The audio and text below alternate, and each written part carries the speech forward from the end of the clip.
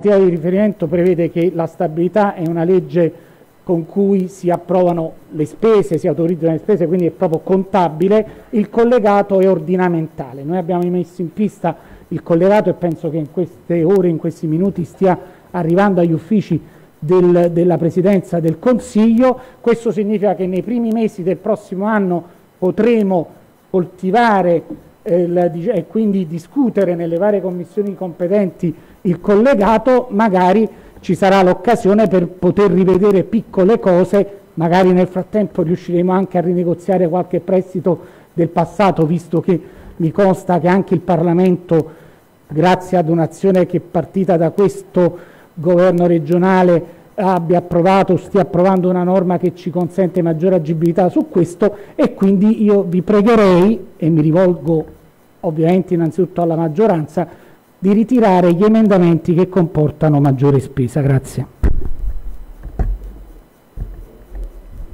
Vedo che non si è prenotato nessuno. Ah, ah, Picarone, prego.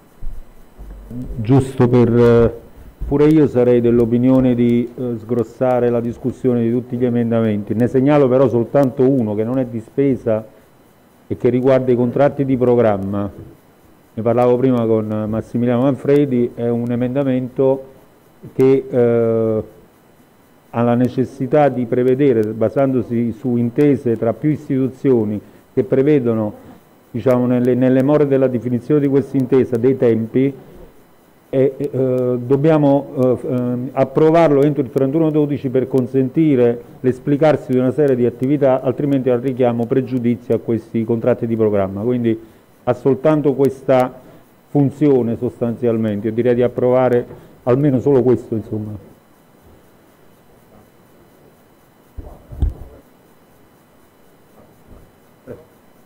Valeria Cerambino, prego. Grazie Presidente, sarò breve e mi concentrerò sulla sostanza del provvedimento. Eh, faccio seguito a quanto dichiarato dall'assessore ovvero sulla uh, compressione diciamo, ancora uh, più consistente di sempre della spesa libera e dunque della possibilità diciamo, di azione del Consiglio regionale rispetto al bilancio. Date queste premesse, anzitutto io mi auguro che siano definitivamente scongiurate eh, le ipotesi paventate dall'assessore in Commissione bilancio di un incremento del carico fiscale perché sarebbe gravissimo in un momento tanto critico per la nostra Regione. Ma proprio date queste premesse vengo alla legge di stabilità che oggi eh, votiamo in quest'Aula. Io mi sono chiesta che cosa penserebbe un cittadino della Campania che vive quello che sappiamo, soprattutto eh, diciamo, eh, se non ha uno stipendio fisso che gli arriva ogni mese sul conto corrente, nel leggere questa legge di stabilità, dove piuttosto che orientare tutte le energie in un'unica direzione, le poche energie, Assessore, ma comunque le energie in un'unica direzione, ossia quella del sostegno alle famiglie e alle imprese, noi ci siamo permessi di inserire in questa legge 250.000 euro alle associazioni dei combattenti e 300.000 negli anni a venire, un contributo di 60.000 euro per un'area feristica, poi abbiamo dato per l'ennesima volta 3 milioni di euro al villaggio dei ragazzi, ahimè non per eh, diciamo, attività benefiche dell'ente, ma credo, come già avvenuto in passato, per pagarne i debiti. Poi abbiamo, eh, siamo ancora intervenuti con una serie di ulteriori micro provvedimenti sparsi. Insomma, da questa legge di stabilità non emerge quello che invece io e noi avremmo auspicato, ovvero finalizzare tutte le risorse disponibili a fare interventi sostanziali e concreti a supporto delle famiglie e delle imprese. Eppure il Movimento 5 Stelle, che ha scelto di tenere, lo ripeto, una linea di sobrietà e di responsabilità e credo insomma, che il lavoro fatto in Commissione anche insieme alla, al Presidente della Commissione, che ringrazio per l'ascolto e per l'attenzione perché ha ascoltato ogni singola nostra proposta, andasse in questa direzione. Noi avevamo chiesto, per esempio, l'istituzione di un fondo per supportare le microimprese e i commercianti nell'adeguamento degli strumenti tecnologici al cashback. avevamo chiesto un fondo per l'usura, ce lo dicono tutti, questo è un allarme gravissimo che riguarda tutti ma soprattutto la nostra regione, con le condizioni critiche in cui si trovano imprese e cittadini, tantissimi stanno già cadendo preda delle usura. Avevamo chiesto l'istituzione, il finanziamento dei distretti del commercio che sono forme di partenariato pubblico-privato a livello degli enti locali per far partire quello che era previsto all'interno della legge del testo unico del commercio, dei luoghi importanti per rilanciare le attività commerciali dei territori. Avevamo chiesto il reclutamento nel sistema sanitario regionale all'interno del piano dei fabbisogni delle unità di personale necessarie a rendere strutturali le 73 ambulanze previste dal piano di potenziamento Covid. Teniamocele eh, organicamente e strutturalmente nel nostro sistema sanitario. Avevamo previsto l'attivazione di uno sportello Europa perché le imprese, soprattutto quelle più piccole, quelle giovani, ci dicono che non hanno neanche conoscenza, adeguato accesso alle informazioni per quanto riguarda i bandi. E allora creiamo un luogo fisico e virtuale che possa supportare informativamente e tecnicamente le imprese. Avevamo chiesto l'attivazione della telemedicina nelle aree interne, dove spesso non soltanto mancano i presidi ospedalieri, ma neanche i medici di base che vanno in pensione vengono sostituiti. Avevamo chiesto un intervento a sostegno delle famiglie povere per consentire un contributo alla spesa dei dispositivi di protezione, delle mascherine. Avevamo chiesto un supporto e un rilancio delle eccellenze artigianali napoletane dell'arte orafa, Avevamo chiesto, e questo è un tema cui, eh, su cui richiamo veramente l'attenzione di tutti, perché è un tema a costo zero, Assessore, quindi questo non è un emendamento da ritirare, l'istituzione di un fondo per la povertà. Povertà che oggi è un termine che non riguarda più le categorie usuali a cui siamo abituati. Povertà oggi è un termine purtroppo dilagante che coinvolge anche chi fino a ieri si poteva permettere addirittura lussi, oggi abbiamo situazioni di difficoltà estrema. Allora noi che cosa abbiamo chiesto? L'istituzione di un fondo che venga finanziato anzitutto col taglio degli stipendi dei consiglieri regionali, degli assessori, del Presidente della Regione ed eventualmente anche dai privati. Non pretendiamo, lo sappiamo, di risolvere il problema delle criticità del tessuto sociale ed economico, ma staremmo dando un segnale perché immaginatevi cosa voglia dire doversi trovare con la saracinesca abbassata, dover vedere andare in fumo anni e anni di sacrifici mentre sui nostri conti correnti ogni mese arrivano fior fior di migliaia di euro. Sarebbe un segnale di vicinanza che io trovo obbligato, necessario, in un momento del genere. Avevamo ancora chiesto una cabina di regia per il Recovery Fund.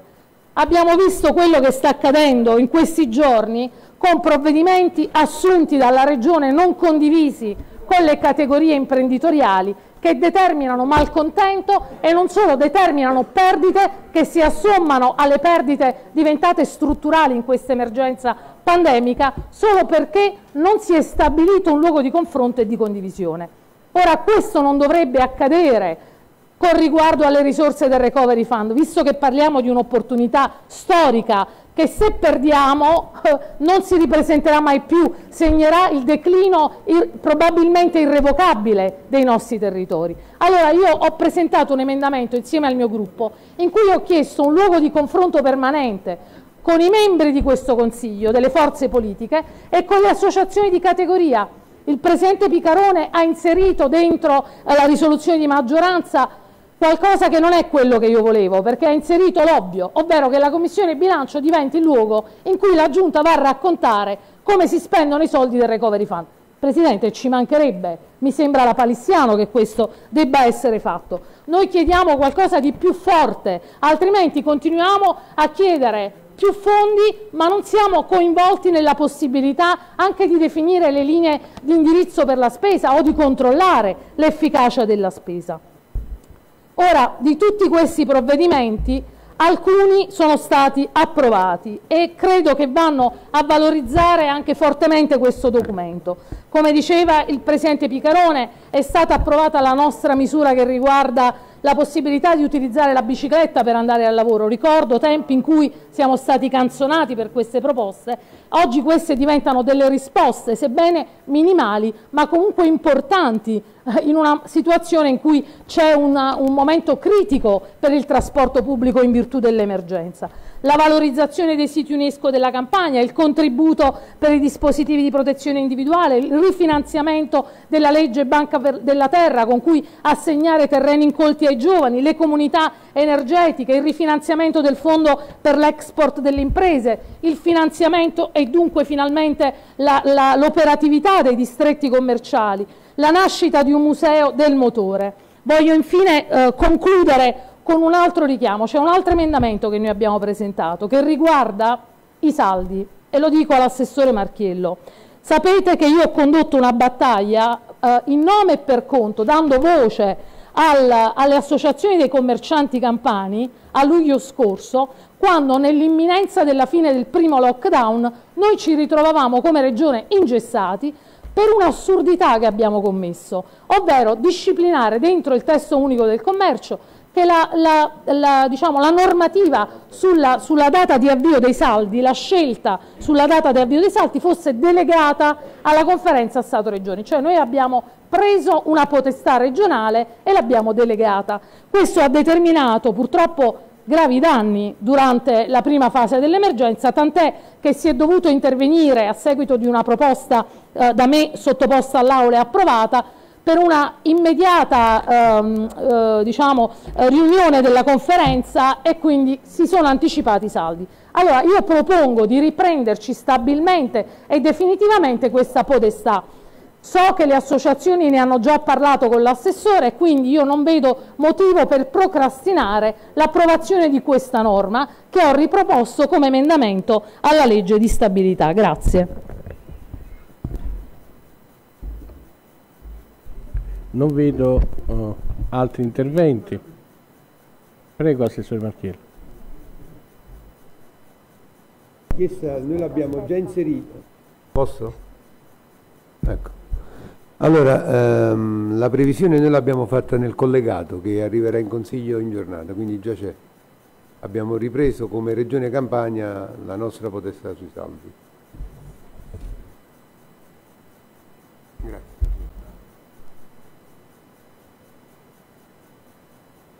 Eh, non ci sono altri interventi, ritengo di iniziare eh, la votazione sugli emendamenti, sui singoli articoli. Articolo 1. Di finanziamento delle leggi regionali di spesa. Chi a favore? Chi a favore? Ti sei prenotato sull'articolo 1?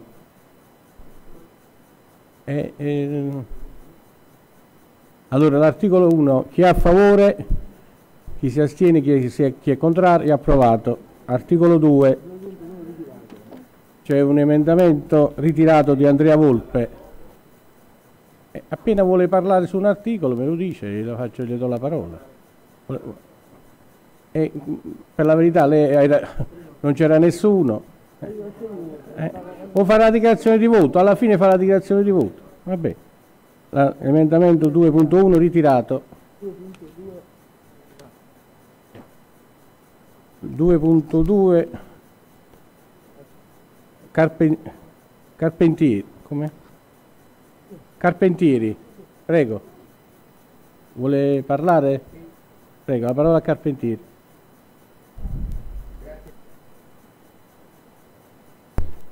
Grazie Presidente. Allora, il mio emendamento, ecco, che ho presentato insieme agli amici del gruppo Fratelli d'Italia, ha per oggetto l'alvio comune Nocerino e il ponte Marconi. L'alvio comune Nocerino è un torrente che ha una lunghezza di 6 km e mezzo, nasce nel comune di Nocera inferiore in provincia di Salerno dove raccoglie le acque della Solofrana e della Cavaiola ed è il maggiore tributario del fiume Sarno.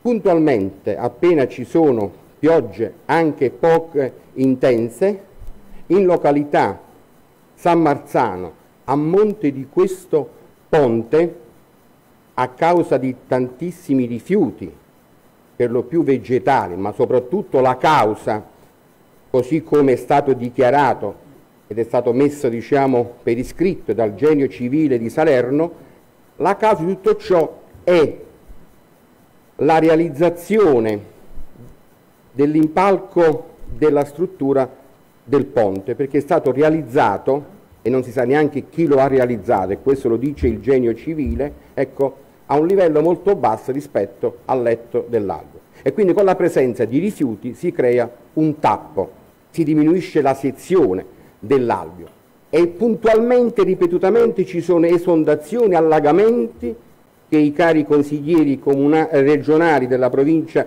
di Salerno sanno benissimo, ci sono danni alle coltivazioni, a cose, alle abitazioni. Ci sono veramente tantissime famiglie in ginocchio puntualmente quando piove e non hanno neanche più la forza di lamentarsi perché si trovano veramente in difficoltà. Un anno fa, nel mese di ottobre 2019, il genio civile, con una somma pari a 100.000 euro, incaricò il consorzio di bonifica dell'agro nocino sarnese per ripulire i rifiuti.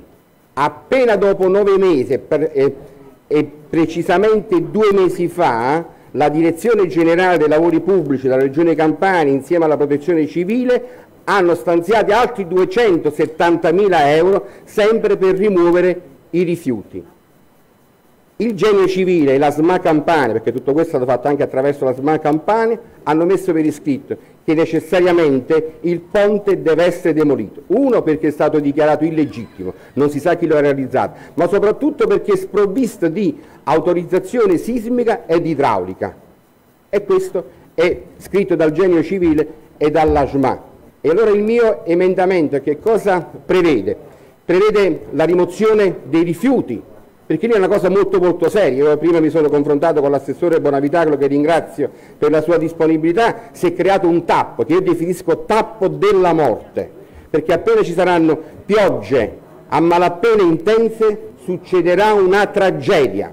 Ecco.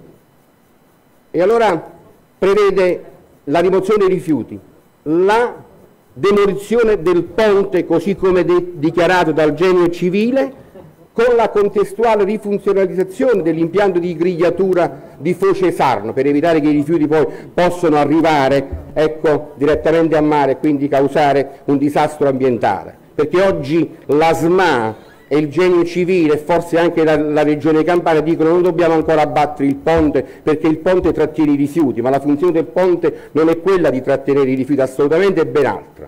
E allora io faccio appello alla determinazione del governatore De Luca, alla conoscenza della problematica dell'assessore Bonavitacolo e dico ai miei cari colleghi consiglieri di maggioranza e di minoranza, ascoltatemi bene, al di là degli schieramenti politici, al di là della fede di partito di ognuno di noi, al di là di ogni speranza, tutti insieme dobbiamo intervenire perché dobbiamo veramente evitare una tragedia e dobbiamo dimostrare al popolo campano che esistono ancora donne e uomini capaci di affrontare e risolvere le problematiche. E io sono certo che su questo su questo punto troverò l'intesa perché tanti miei cari colleghi conoscono la problematica e conoscono le difficoltà ecco, di tantissime famiglie che sono state abbandonate e non hanno più fiducia nelle istituzioni. Lei, caro collega Picarone, è stato tante volte in quelle zone, sa veramente quello che succede quando piove normalmente. E allora evitiamo, evitiamo, ripeto, una tragedia. Grazie.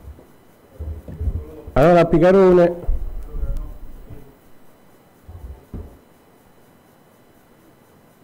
No, no, un secondo.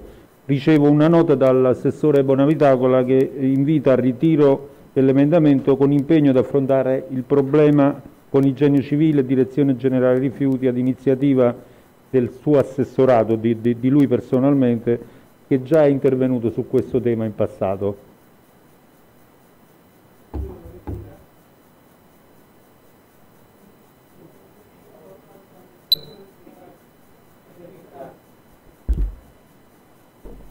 Il 2.2 è ritirato. Passiamo alla votazione dell'articolo 2 per alzata di mano. Chi è a favore? Chi è contrario? Chi si astiene? L'articolo 2 è passato a maggioranza col voto contrario delle opposizioni. Articolo 3. Passiamo alla votazione dell'articolo 3 per alzare di mano. Chi è a favore, chi è contrario, chi si astiene. A maggioranza è passato l'articolo 3. Sull'articolo 4 c'è un emendamento 4.1 a firma di Giovanni Zannini.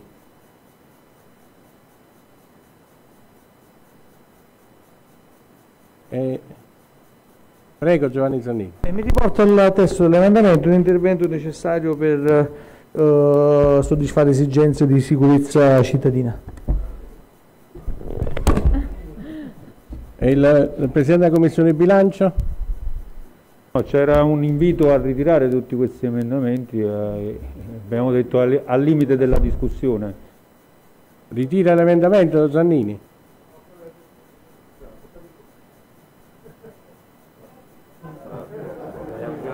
È ritirato l'emendamento allora? L'emendamento è ritirato, il 4.1 è ritirato. 4.2 a firma di Muscarà. Prego consigliera Muscarà.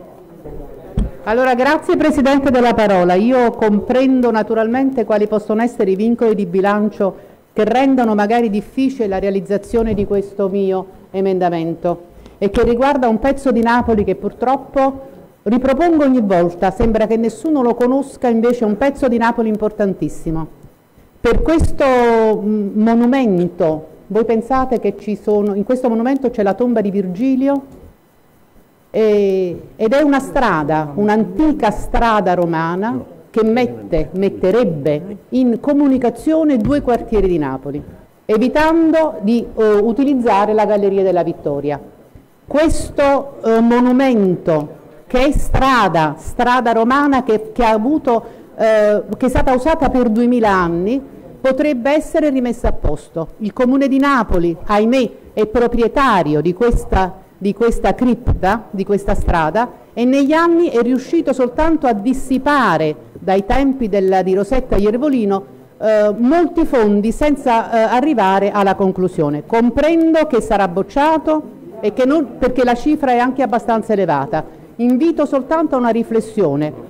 Si, sta- si sono spesi molti soldi, ad esempio, per una ciclabile che io non condivido perché è un pezzo estraneo alla regione buttato lì senza ar- essere armonizzato con un piano, un piano che non c'è. Questa è una strada pedonale che mette in comunicazione Fuorigrotta e Mergellina. L'invito naturalmente è soltanto quello di eh, riguardare questo provvedimento per inserirlo lì dove sarà opportuno. Grazie. Grazie signor. Chi è a favore? Chi è contro? L'emendamento è respinto. Il 4.2 è respinto. Passiamo alla votazione dell'articolo 4. Chi è a favore? Un attimo. Chi è a favore? Chi- Sull'articolo. Prego Cascone. Sì, un articolo che riguarda la mobilità, quindi ovviamente un ringraziamento per il rifinanziamento dei fondi sul tema degli abbonamenti gratuiti degli studenti, ovviamente come sapete è un programma da circa 30 milioni di euro che noi ovviamente la Giunta De Luca persegue da 5 anni e col contributo anche dei fondi dell'FSE riesce a completare un programma da 130.000 studenti. Il comma 2 eh, che è una- un comma che stanzia 160.000 eh, euro per il finanziamento di due mezzi per- dedicati al trasporto pubblico locale per i comuni di Giuliano e Nola. Eh, ovviamente immagino si tratta di scuolabus perché l'importo rispetto a un mezzo di trasporto di TPL è abbastanza basso perché i mezzi più piccoli che sono stati acqu- acquistati nel grande programma regionale costano circa 150.000 euro. Io credo che qua vada evidenziato lo sforzo che ha fatto la Giunta De Luca quasi 200 milioni di euro per acquistare 1000 autobus, siamo arrivati alla consegna per circa 600-700, 1000 autobus per ricambiare il parco mezzi del TPL regionale che conta circa 2700-2800 autobus, quindi arriveremo ad una cifra di mezzi nuovi superiore al 30%, altri 30 milioni che da qua al 2021 verranno banditi per ulteriori circa 300 autobus, io dico circa perché poi dipende sempre dall'offerta in gara che può far aumentare leggermente del 10-15%, quindi è un emendamento molto particolare, per carità nell'equilibrio generale di dare risposte a tutti quanti, è un emendamento che viene accolto, viene votato e va bene così, ma noi dobbiamo pensare al grande lavoro che è stato fatto su scala regionale per il TPL, 1000-1200 autobus per oltre 200-220 milioni di investimento. Grazie. Grazie. Cirillo.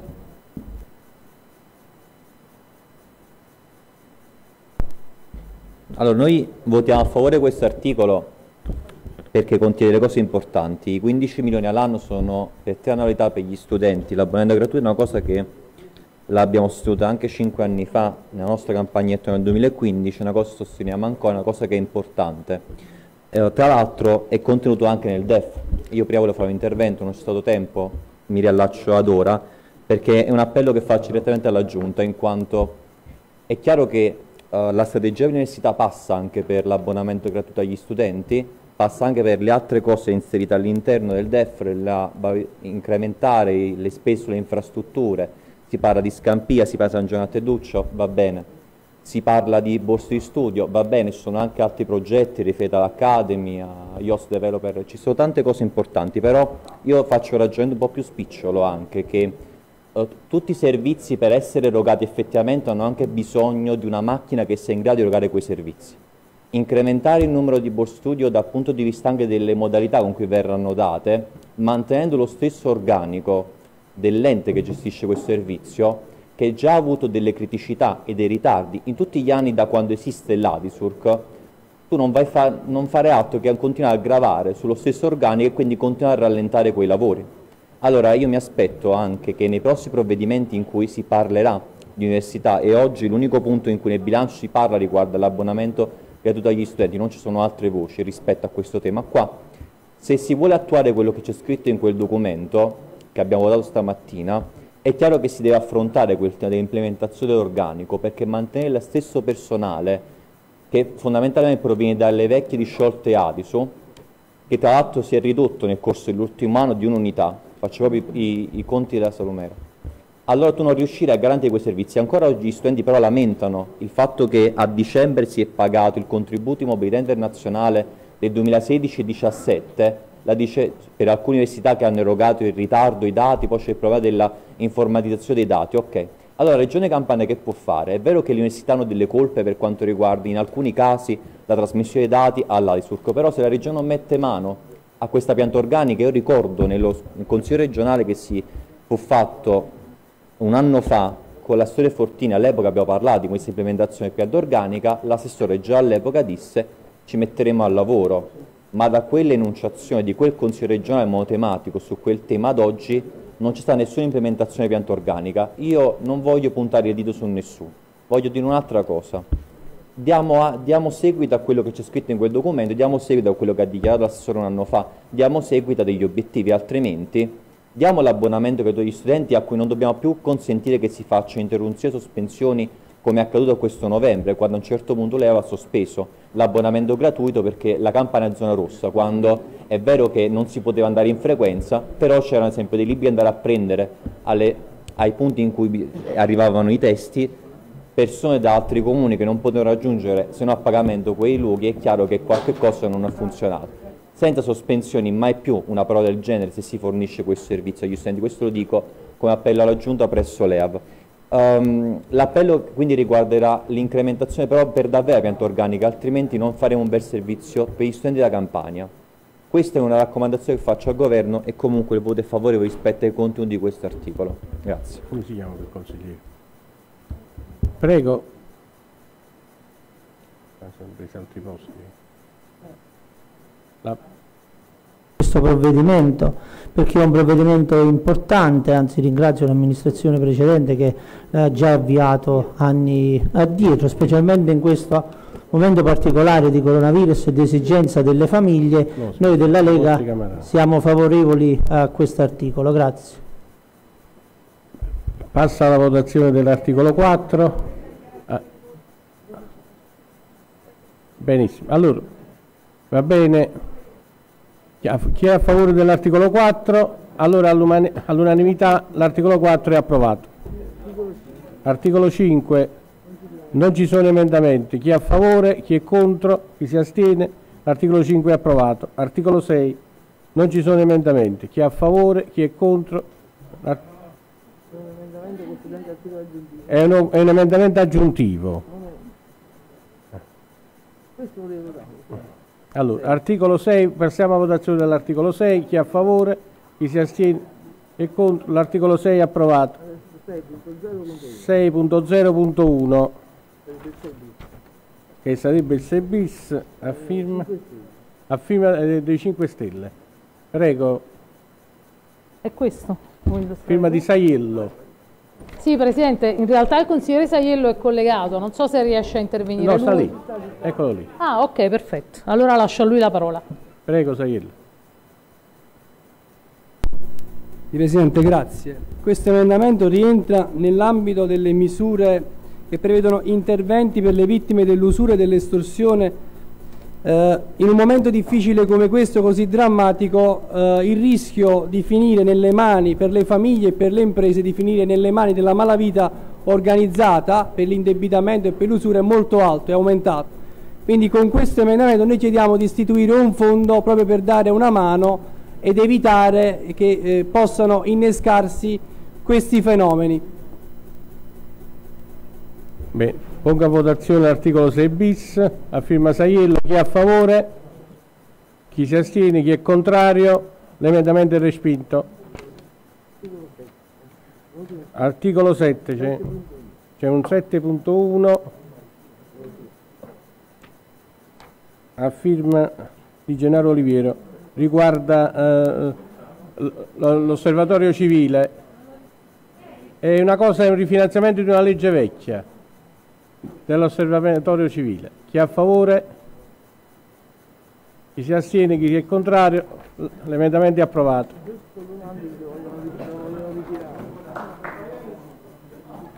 Il 7.2 è ritirato.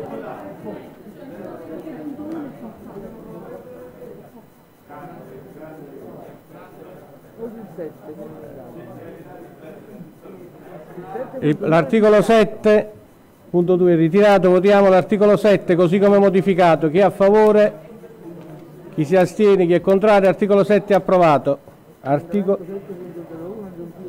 L'articolo 7.0.1 aggiuntivo del 7, il 7 bis, Movimento 5 Stelle, prego.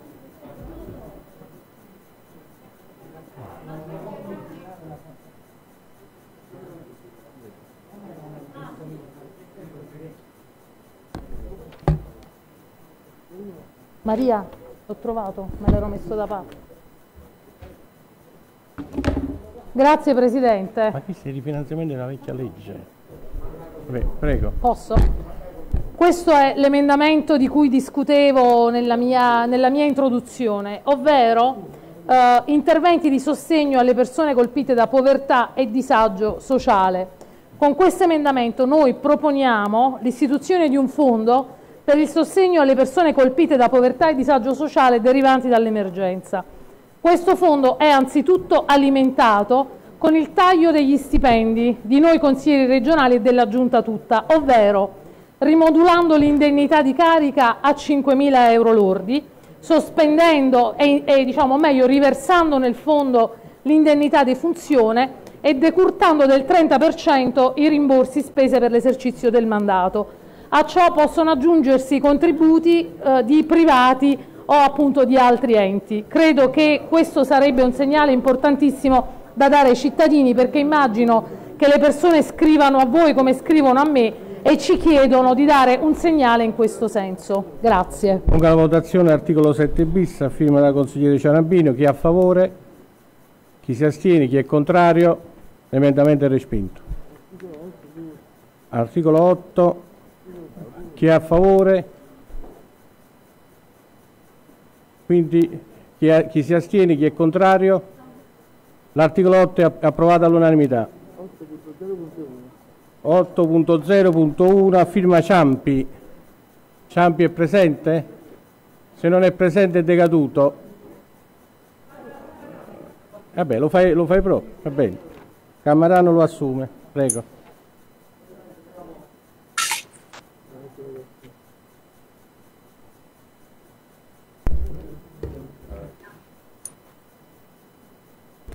Allora mi, se- mi rendo conto che è complicato inserire all'interno del bilancio, però magari ne possiamo riparlare al collegato, potrebbe essere utile. Avevamo richiesto l'esenzione della tassa eh, regionale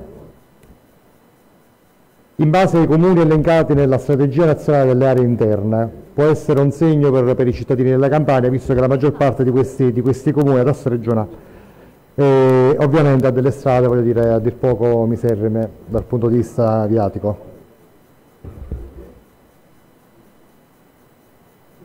Eh, poniamo in votazione l'articolo 8.0.1 a firma di Camarano. Chi è a favore? Chi si astiene? Chi è contrario? L'emendamento è respinto. Articolo 9. Chi è a favore all'articolo 9? Chi si astiene? Chi è contrario? L'articolo 9 è approvato. Articolo 10. Chi è a favore dell'articolo 10? Chi si astiene? Chi è contrario? Articolo 10 approvato a maggioranza. Articolo 11. Chi è a favore dell'articolo 11? Chi si astiene? Chi è contrario? Approvato all'unanimità. Articolo 12. Chi è a favore dell'articolo 12? Approvato all'unanimità. Articolo 13. Chi è a favore dell'articolo 13? Chi si astiene? Chi è contrario? Approvato a maggioranza. Articolo 14.1 a firma Fiola. La consigliera Fiola vuole illustrarlo? Lo ritira? C'è, il 14.1. Lo pongo a votazione.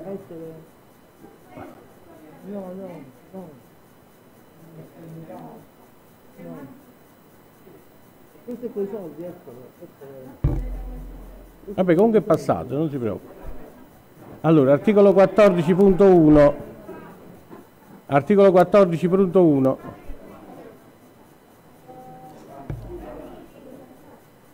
L'articolo 4, consigliera Fiola, che fa? Vuole, vuole illustrarlo? Lo illustri. Prego, consigliera Fiola. Sì, l'articolo si eh, propone di istituire una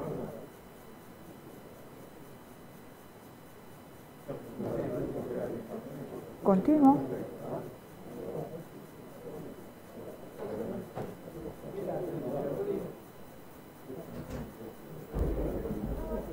Al fine di promuovere e diffondere la cultura della legalità e della cittadinanza responsabile tra i giovani, per supportare progetti redatti da enti locali, università, scuole, predispone entro 90 giorni una delibera per attuare un piano per il premio della cultura della legalità. Questo è un emendamento del quale ho discusso sia con l'assessore che con il Presidente della Commissione Bilancio, ehm, al quale si è attaccato anche un altro subemendamento per un importo di 20.000 euro, 30.000 euro che le scuole faranno poi dei progetti per, uh, queste, per il uh, premio della cultura della legalità. Prego, prego Assessore. Allora, posso, uh, prima che venga posto in votazione, se dovesse eh, essere accolto la, la somma è eh, diciamo assolutamente contenuta io chiederei che possa essere riformulato ma anche e soprattutto finalizzato al finanziamento per il momento solo sul 21 perché sul 22 e 23 non ho proprio possibilità di intervenire poi non, cioè, se lo sto dicendo non è che me lo sto inventando. Allora accogliamo la modifica allora io chiederei la cortesia. Eh, allora, la votazione. nell'editing facciamo questa cosa. 30.000 soltanto per l'esercizio 21. Chi è a favore? Chi è a favore? Prego, Nappi. La Lega è disponibile a votare questo emendamento riconoscendo che l'azione a tutela della legalità e della sicurezza è una priorità di questa Regione e quindi nel complesso riteniamo che sia doveroso sostenerlo. Va bene, quindi passa la votazione, chi è a favore? Quindi l'articolo firmato eh, Carmela Fiolo 14.1 è approvato all'unanimità. Passiamo all'approvazione dell'articolo 14 così mo come modificato, chi è a favore? Quindi all'unanimità l'articolo 14 è approvato. Articolo 15, c'è il 15.1. 15.1 a firma Zannini. Zannini, ritirato. Articolo 15, chi è a favore, chi è contrario, chi si astiene, approvato all'unanimità. No, quindi ti astieni. A maggioranza è approvato l'articolo 15. Contro, col voto contrario della Lega e, e di Fratelli d'Italia e Forza Italia e centrodestra. Col voto favorevole dei 5 Stelle, giusto? Ok. Articolo 16, cioè, mettiamo in votazione l'articolo 16. Chi è a favore, chi si astiene, chi è contrario, contrario centrodestra? Il centrodestra è contrario all'articolo 16?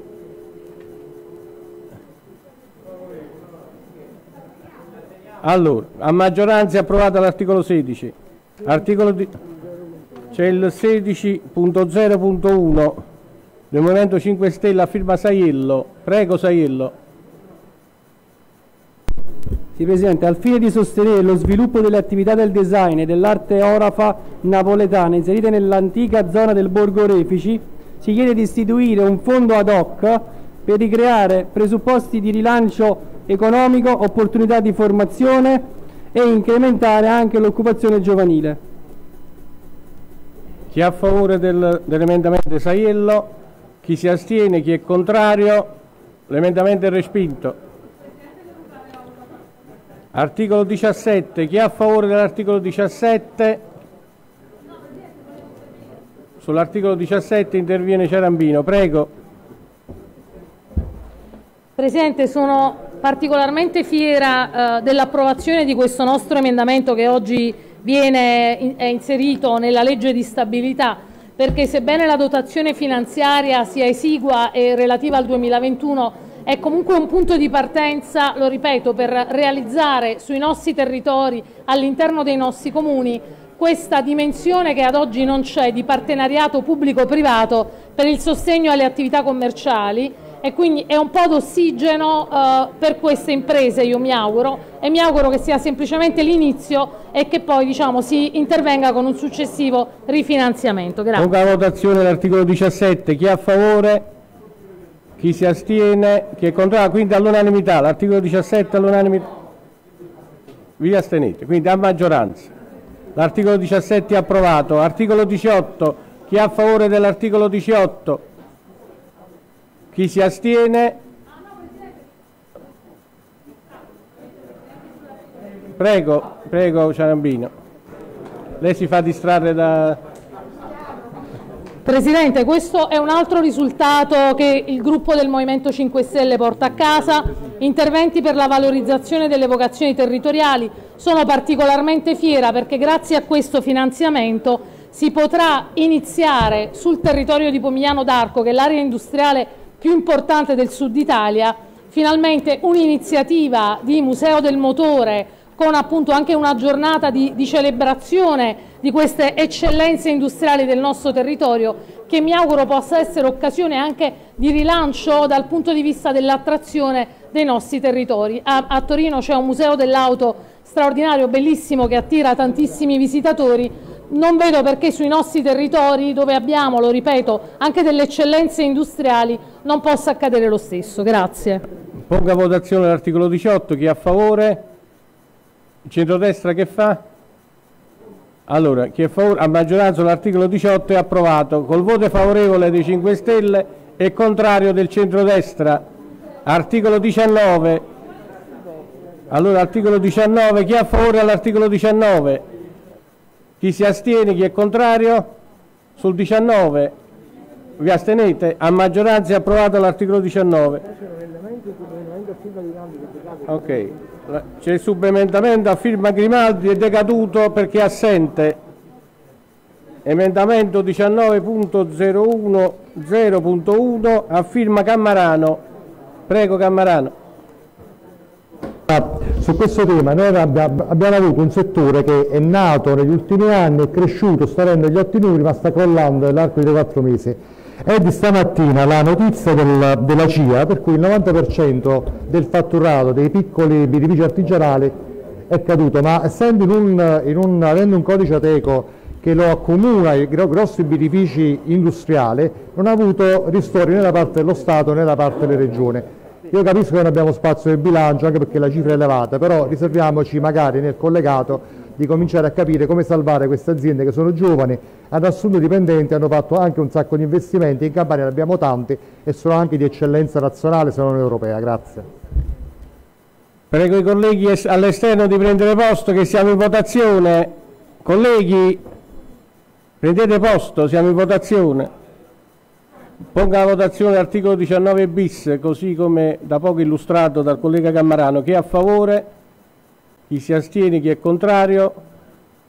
È respinto a maggioranza. Articolo 20. Ponga a votazione l'articolo 20. All'articolo 20, un attimo, a te sono aggiuntivi, vieni dopo. Ah, prego, prego Cammarano. Allora, Presidente, buongiorno, io ringrazio il Presidente Picorone per aver accolto la nostra proposta sul, sulle comunità energetiche. Io credo che questo sia un tema del futuro e direi anche di essere attenti sulla costituzione di queste cooperative, perché vorrei che la Campania non fosse solo la prima per quantità di energia prodotta, ma anche per numero di comunità. Grazie. Ponga a votazione l'articolo 20, chi è a favore? Il centrodestra che fa? Sull'articolo 20, il centrodestra. Caldoro, non distrarvi, astenete? Articolo 20 approvato a maggioranza. 20.0.1 a firma di Maria Luigia Iudice. Prego, consigliere Iudice.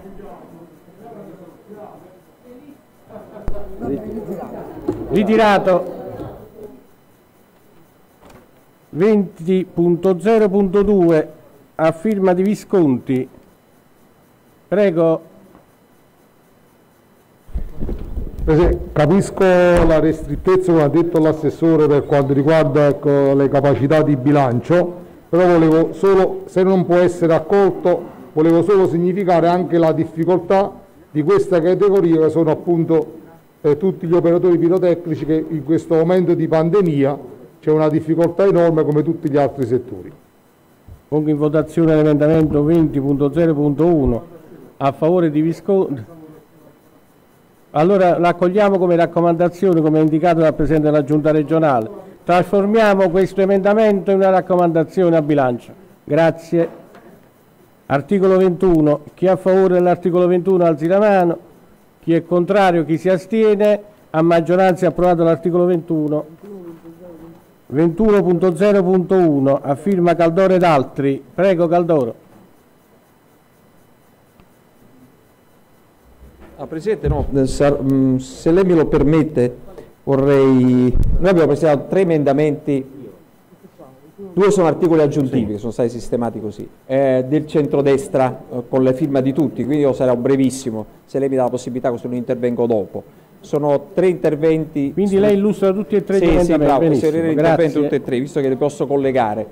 Così come nella eh, legge di bilancio in Commissione abbiamo proposto iniziative ed emendamenti sui ristori e quindi su tutte le misure anticrisi, che per ragioni chiaramente di restrittezza del bilancio non, essere, non, non, non hanno avuto la copertura né la, il parere favorevole del, né degli uffici tecnici né della Giunta, è evidente che sono impegni finanziari molto importanti, quanto meritano le aziende in crisi chiaramente.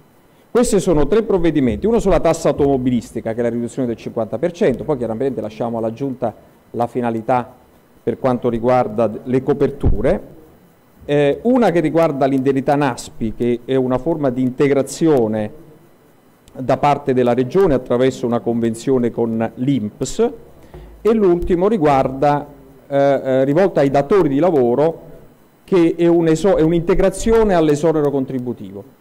Quindi sono tre misure dove la Regione può intervenire chiaramente integrando risorse del proprio bilancio per favorire situazioni di difficoltà economica sia per la NASPI di, dei lavoratori autonomi sostanzialmente, perché come sapete il decreto, una vecchia legge del 2015 prevede una riduzione della NASPI del 3% per ogni anno, quindi le regioni potrebbero integrare questi finanziamenti per i loro cittadini e il resto eh, riguarda i datori di lavoro, come ho detto, e la, eh, una cosa più rivolta erga omnes a tutti i cittadini sulla riduzione del 50% della tassa automobilistica. È evidente che sono posizioni politiche, segnali di politiche di bilancio e che lasciamo come testimonianza, ci rendiamo conto della difficoltà da parte della Giunta delle coperture finanziarie, però valgono nel dibattito per dare un segnale di come secondo noi si dovrebbe affrontare questa crisi economica. Va bene, pongo a votazione l'emendamento 21.0.1 a firma di Caldore ed altri. Chi è a favore? Chi si astiene? Chi è contrario? L'emendamento è respinto.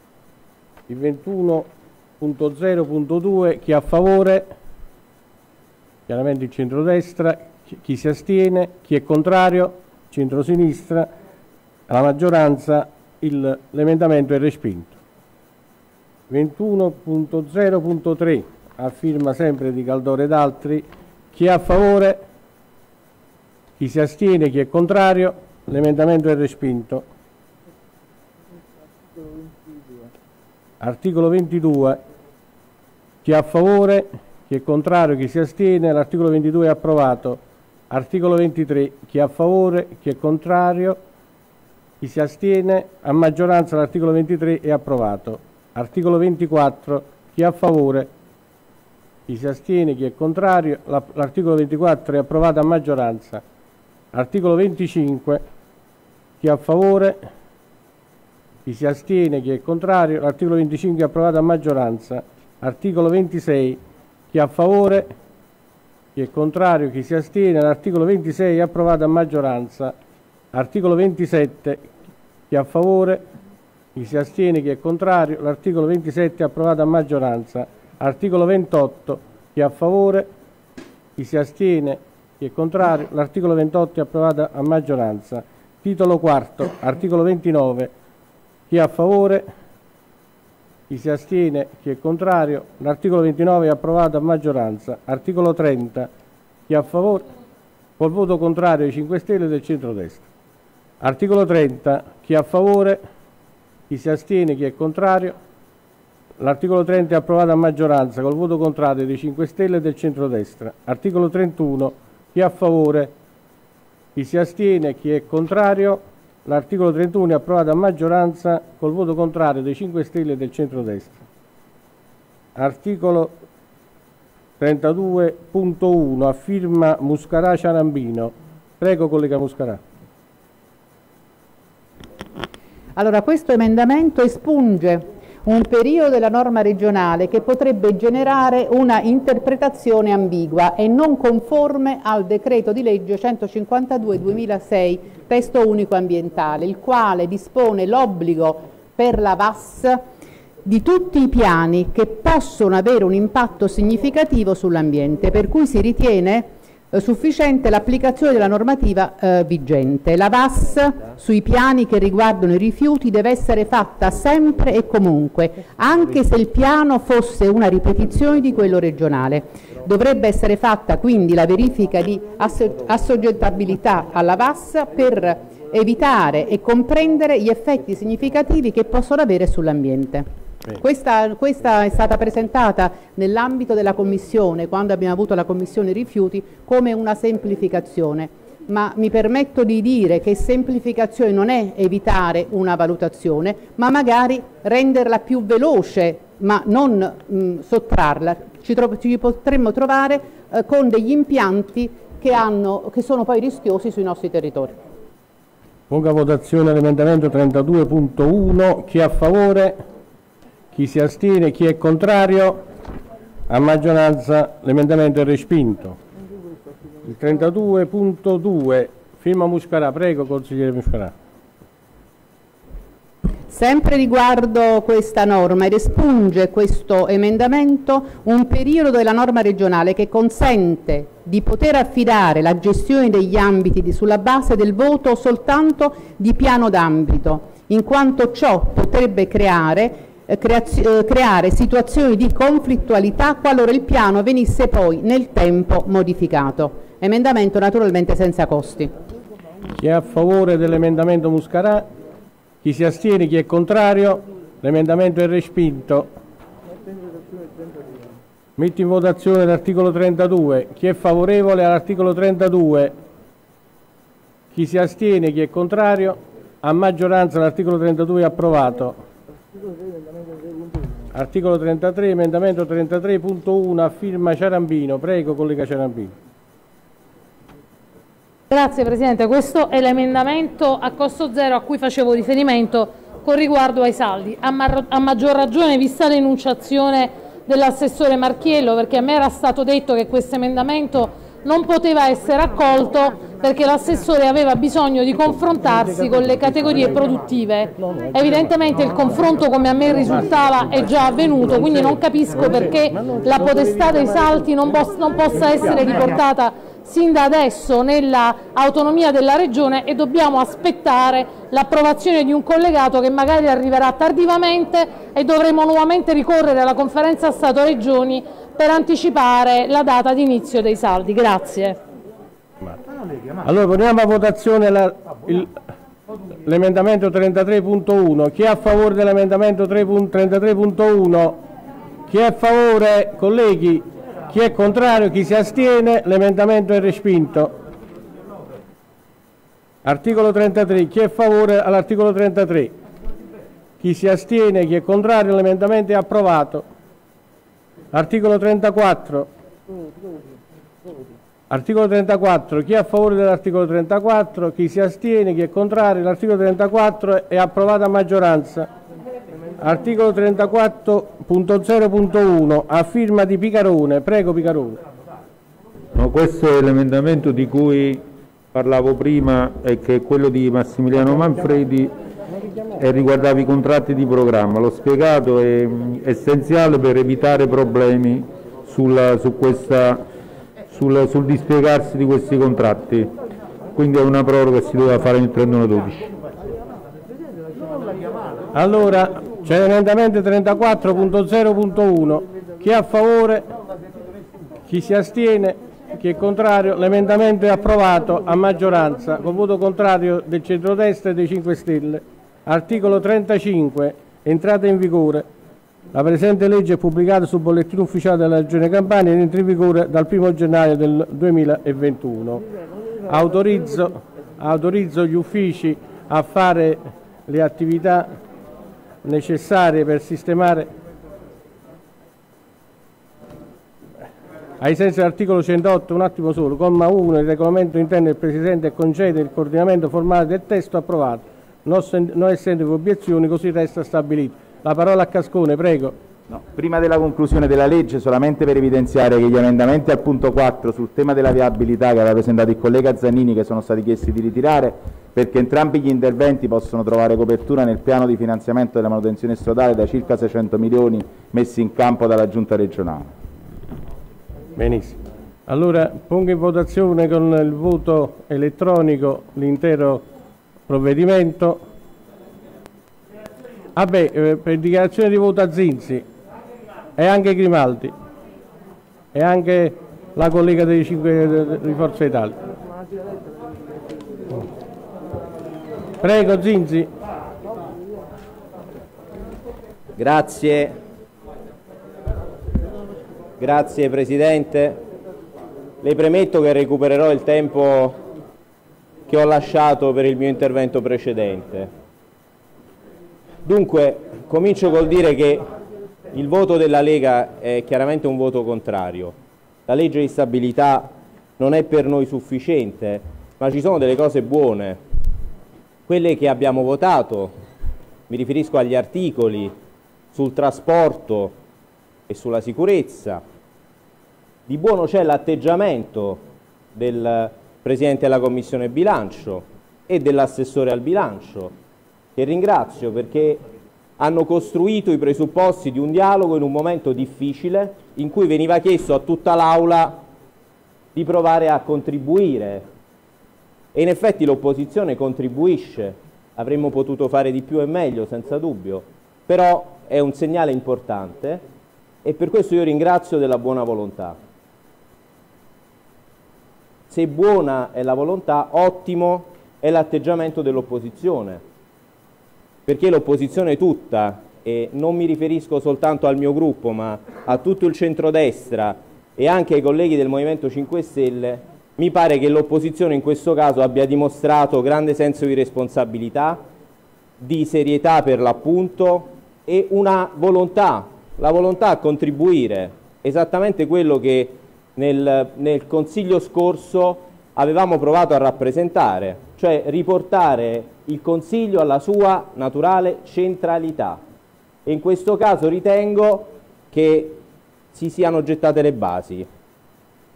Poi faccio alcune considerazioni anche in ordine al dibattito sul DEF, perché per ragioni di sintesi era utile non intervenire due volte. Prima il mio collega Mocerino, che, che saluto e che ascolto sempre con attenzione, ha fatto riferimento all'importante emissione di liquidità in ordine al tema del Covid in un periodo così difficile. Certo ne abbiamo viste tante, potremmo dire, di tutti i colori prima delle elezioni. Noi ci auguriamo che la medesima emissione, la medesima dimostrazione di buona volontà avvenga anche dopo. Sulla legge di stabilità sul trasporto, dicevo, abbiamo votato l'articolo che lo rende gratuito per gli studenti, conferma un'intenzione, un provvedimento già buono. Chiaramente mi viene da dire, con le scuole chiuse e con i ragazzi che non possono andare a mangiare una pizza, caro Presidente, andranno in giro in autobus gli studenti e i ragazzi per turismo e questo, e questo è un tema che noi ci dovremo porre. Politiche sociali, Presidente Picarone, eh, noi avevamo presentato un emendamento molto importante, non tanto per la capacità di spesa, ma per la volontà eh, manifestata, ossia quella di un'integrazione all'assegno di cura per le persone affette da disturbo dello spettro autistico. Esatto. L'emendamento è stato bocciato, ma eh, nel DEF c'è un richiamo importante e io mi auguro che a partire dall'approvazione della nuova legge la campagna si doti di strumenti omogenei tra tutte le province, perché non è accettabile che ogni provincia e quindi ogni ASL di riferimento si regoli in maniera differente e difforme. Il tema dell'urbanistica. Il rilancio urbanistico nella nostra regione è una priorità di tutti. È chiaro che aspettiamo questa legge urbanistica ormai da, da troppo tempo io ricordo in uno, in uno dei, degli ultimi consigli, anzi in uno dei consigli dello scorso anno, forse proprio nel corso della scorsa legge di stabilità, la Giunta affermò che la legge urbanistica sarebbe arrivata in aula nel giro di poche settimane o pochi mesi. Alla fine noi siamo ancora costretti a, ad adoperare lo strumento della, della proroga e questo vale per i PUC, vale per il piano casa, noi avevamo proposto un emendamento per il piano casa sine die, eh, avevamo proposto una, una modifica della norma relativa ai sottotetti, ma queste, questi due emendamenti non sono passati e ci auguriamo che la legge urbanistica consenta un dibattito ampio, aperto e soprattutto che migliori quel testo, quel bruttissimo testo che avevamo visionato durante la scorsa legislatura. Poi c'è un, un articolo sui consorsi di bonifica. È chiaro che la situazione va risolta. Sono organismi essenziali, ma purtroppo ad oggi sono gestiti come carrozzoni clientelari. Allora, Presidente, le chiedo una cosa. Noi dovremmo provvedere ad una valutazione della performance dei commissari di questi consorsi, perché ci sono commissari che sono stati nominati, penso al consorzio di bonifica del Basso Volturno, eh, che adesso è stato accorpato insieme all'Aurunco, beh, sono stati nominati con una chiara volontà di riorganizzazione, di, di riduzione della spesa. Io chiederei alla Giunta di effettuare una valutazione puntuale perché ritengo che quegli obiettivi non siano stati centrali. Allora lì c'è da salvare, caro Assessore, non soltanto l'attività dell'ottimo personale, ma anche un'attività che è quella pregnante dei consorsi. E allora le chiedo e chiedo alla Giunta di intervenire su questo e di farlo nei tempi più brevi possibili.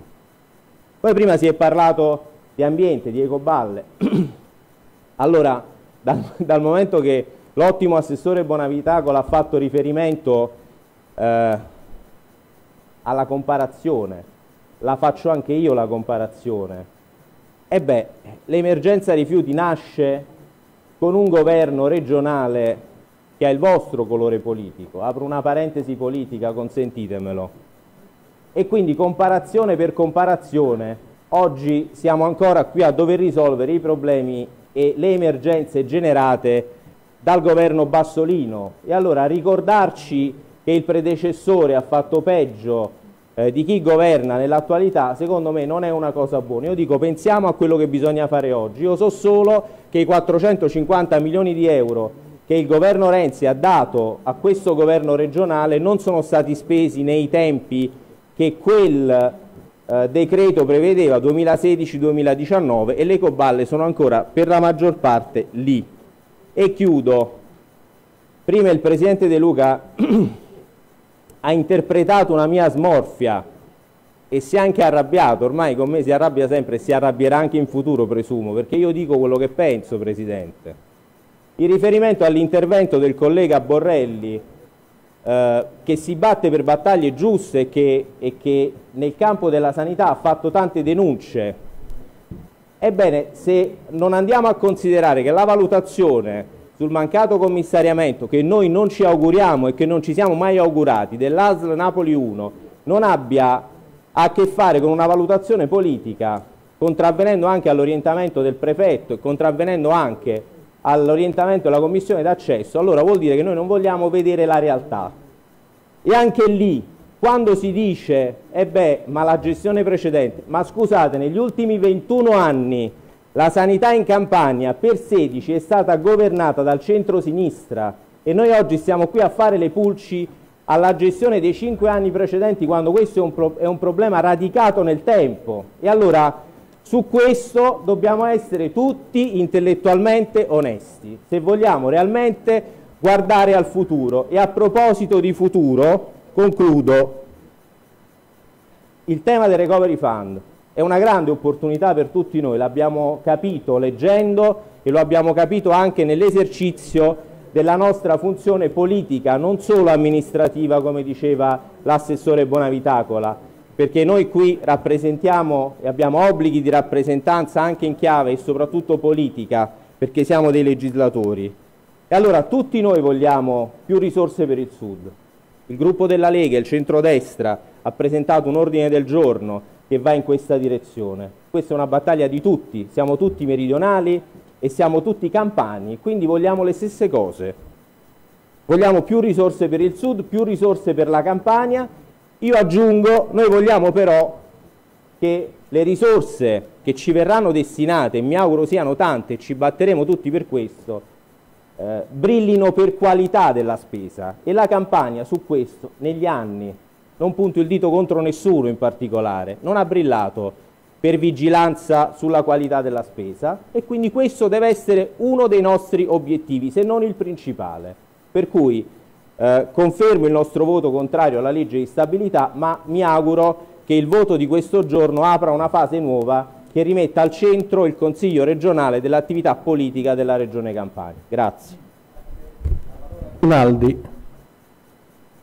Sì Presidente, grazie. Giusto qualche considerazione perché poi nel merito entrerà come giusto il, la collega Patriarca che è il capogruppo del gruppo a cui faccio riferimento. Eh, io è inutile dire, non condivido né il merito né il metodo di questo bilancio. Nel merito entro poco perché non ho partecipato, non essendo componente della Commissione bilancio, però mi limito a sottolineare che non è cambiata né la musica né i musicanti in questi cinque anni e faccio, guardi, faccio una differenza tra i musicanti e i musicisti, eh, i musicisti è un mestiere nobilissimo eh, eh che rispetto, quello dei musicanti un po' meno. Eh, eh, il, metodo, il, metodo, oggi non è stato discusso un emendamento all'articolo 19 e, eh, che non è stato proprio richiamato, che riguarda un problema oramai noto da, eh, da anni e che più volte è riportato in questo Consiglio, che è quello degli,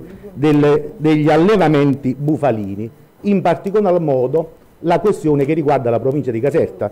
E mi dispiace Presidente, questo subemendamento è stato presentato da lei, che eh, essendo una persona istituzionale, eh, anche per il ruolo che, rivolge, che, eh, che svolge e che ricopre, e io le riconosco una grande capacità istituzionale, però non vorrei che con questa grossa capacità istituzionale lei si dimentichi del ruolo politico del territorio, perché questo problema, come sa lei, come conoscono i miei colleghi della provincia di Caserta e l'assessore Caputo, che è un autorevole eh, esponente eh, non solo di questa giunta ma anche rappresentante di una provincia che è quella di Caserta, perché questo problema riguarda soprattutto la provincia di Caserta. Ho ascoltato con attenzione anche alcuni interventi e alcune manifestazioni del, dell'onorevole Caputo che su, su circa le proposte che emergono dal mondo degli allevatori bufalini e sottolineo gli allevatori, cioè sono quelli che non trasformano, ma quelli che eh, eh, di fatto hanno le stalle e devono curare ogni giorno gli animali perché possono dare il latte che poi venga trasformato, quindi c'è una differenza.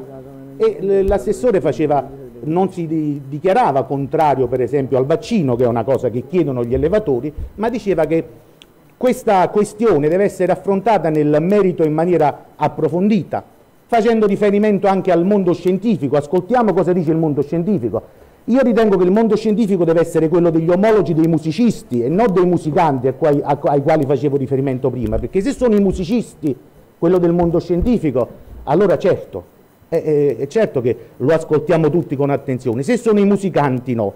E poiché ultimamente stanno parlando più i musicanti su questo argomento che i musicisti, io sono preoccupato. Ed è per questo che volevo discutere nel merito questo emendamento e sottoporlo all'attenzione dell'Aula, perché questo è il Consiglio regionale della Campania.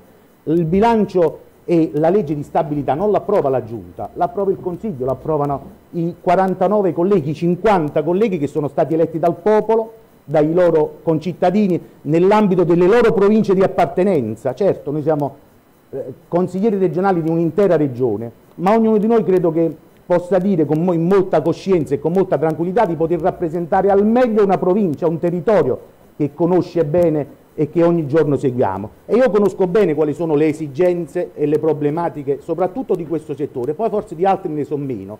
E, e sapete bene, lo sa l'assessore Caputo, lo sa il presidente Oliviero che è stato addirittura presentatore di questo emendamento che io ho ripreso, che poi probabilmente ha dovuto ritirare perché la giunta che si ritiene essere sovrana e faccio ancora qui riferimento al Consiglio che approvi il bilancio e non la Giunta, cari colleghi, ha ritenuto di stralciarlo e non mi è stata data neanche la possibilità di poterlo discutere e quindi condanno anche il metodo, ma ci tengo che, che, che venga lasciata traccia oggi non solo sul merito, ma anche sul metodo sul quale noi, noi, condurremo questi lavori e saremo costretti, cari colleghi, a condurli per cinque anni in quest'Aula, almeno per cinque. E se questo è il metodo, vi garantisco che ognuno di voi probabilmente quando tornerà a casa sui propri territori dovrà darne conto al proprio elettorato e dovrà dire che probabilmente non è un uomo o una donna libera. Se tutto viene deciso dalla giunta in un palazzo che non è neanche la casa di vetro ma è la casa di, di pochi e dovete dar conto a loro del perché molte problematiche che sono problematiche vere che riguardano la pelle viva dei cittadini non vengono neanche affrontati. Grazie.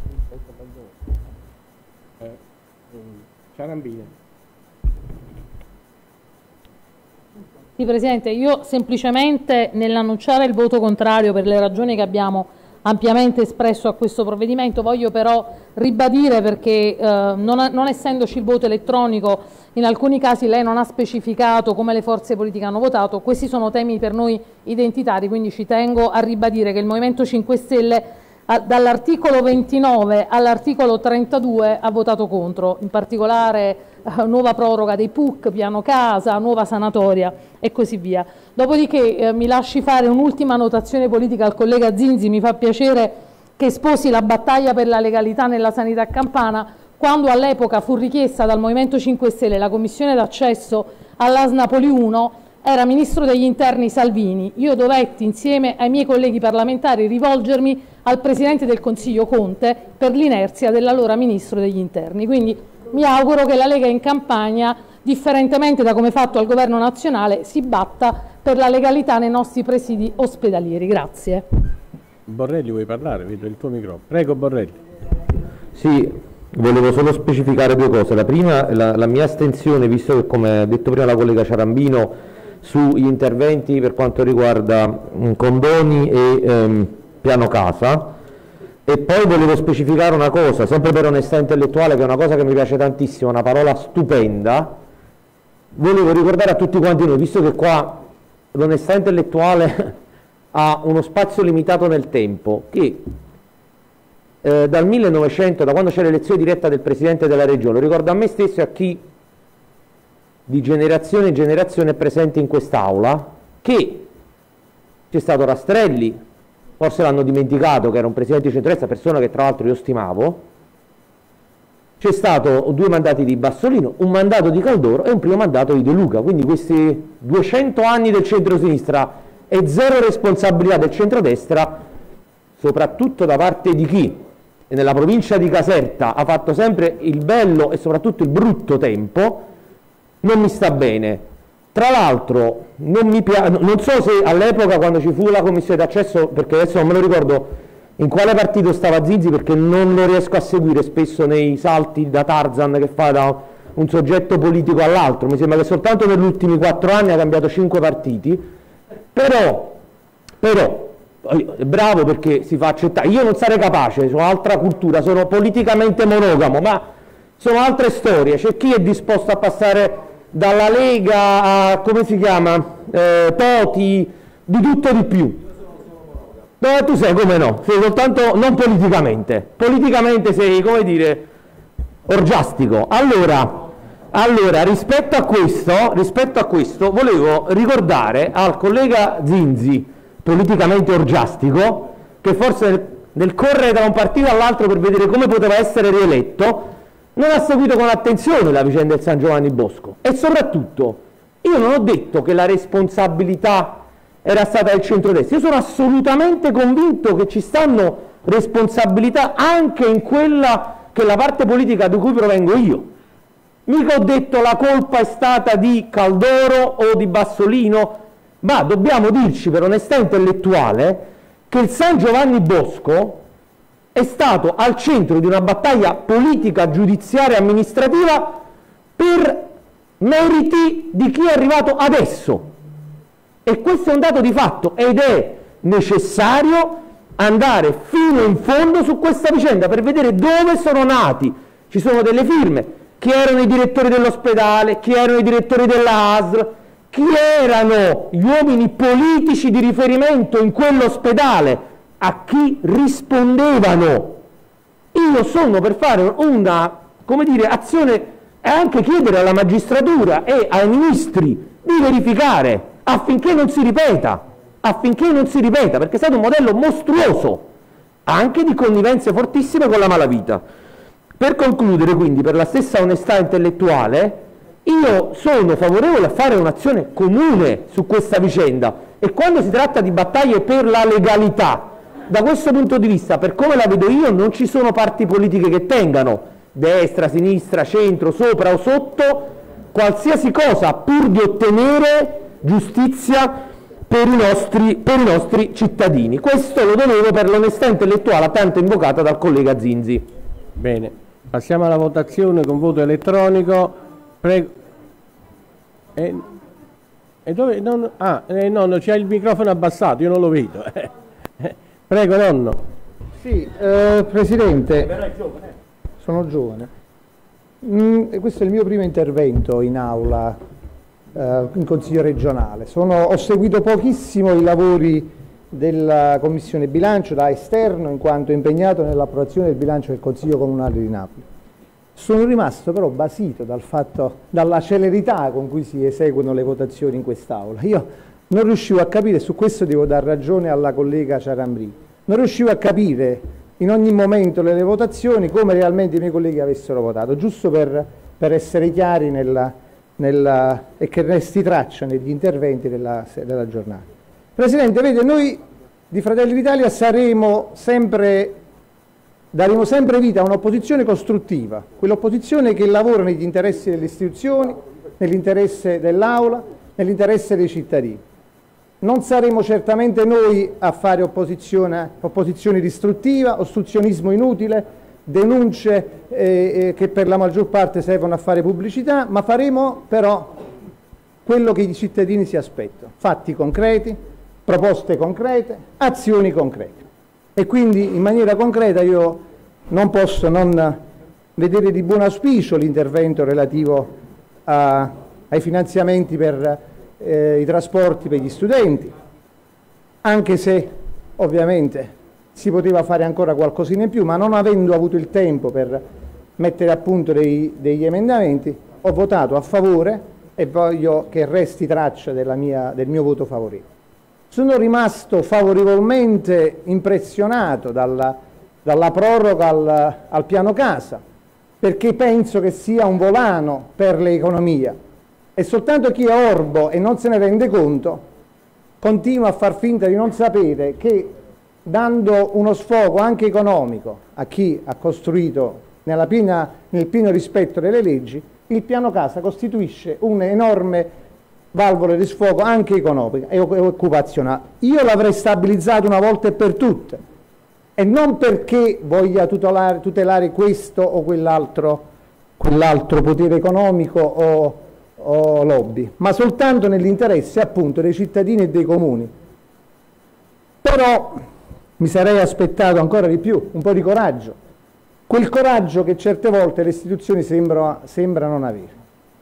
E sarò ancora più chiaro. Premesso che la ricostruzione storica delle varie giunte, dei vari colori che questa, questa istituzione ha avuto è stata leggermente falsata, perché ricordo a me stesso che Rastrelli rimase in carica per due anni, quando un ribaltone notturno portò al governo della regione l'Osco, di nome e di fatto, e quindi il centro-sinistra, aprendo le porte poi a Bassolino e a quella stagione nefasta, nefasta, nefasta per le istituzioni.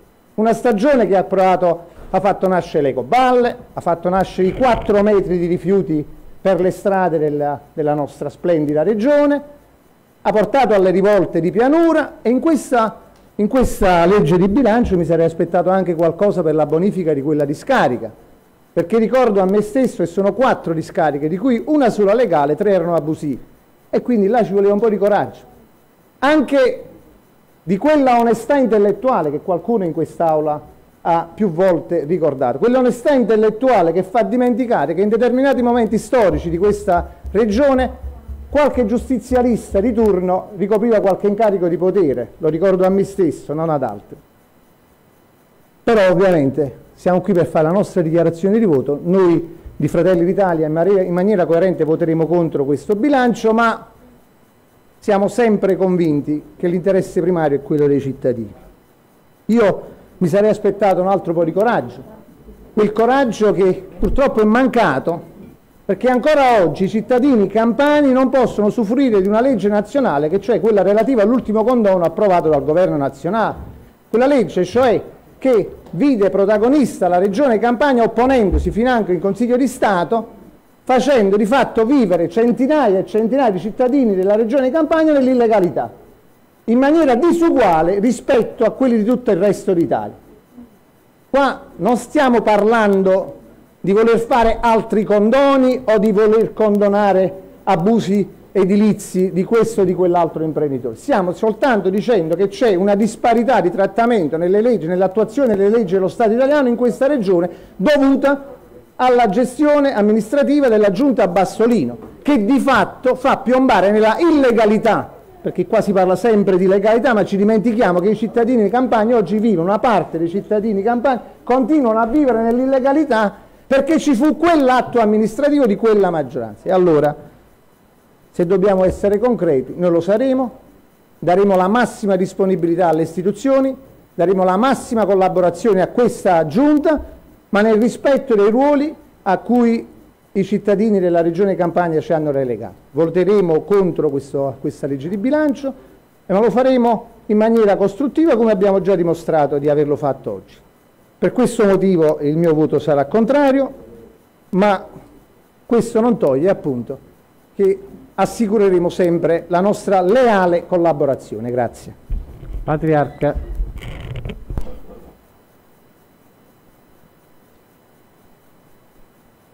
Presidente, mi scuserà l'incertezza dei toni, ma sa com'è? Sono reduce dal patto della parmigiana. Eh, sperando che abbia sorte migliore rispetto al patto del Nazareno.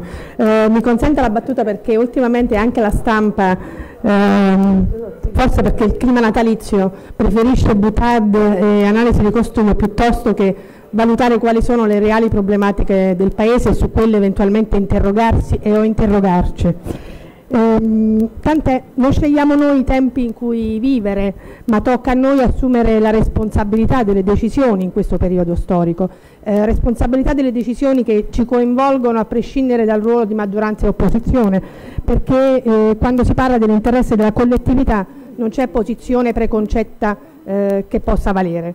Ehm, detto questo è doveroso per me in questo momento anche chiarire che cosa significa collaborazione istituzionale e senso di responsabilità in un momento così difficile peraltro. Non significa inciuci sotto banco né mercanteggiamento, significa parole chiare nei contesti istituzionali, proposte chiare nella direzione di risolvere i problemi delle persone ehm, al netto delle differenti posizioni politiche di partenza per le quali siamo stati eletti e ci posizioniamo all'interno di questa stessa regionale.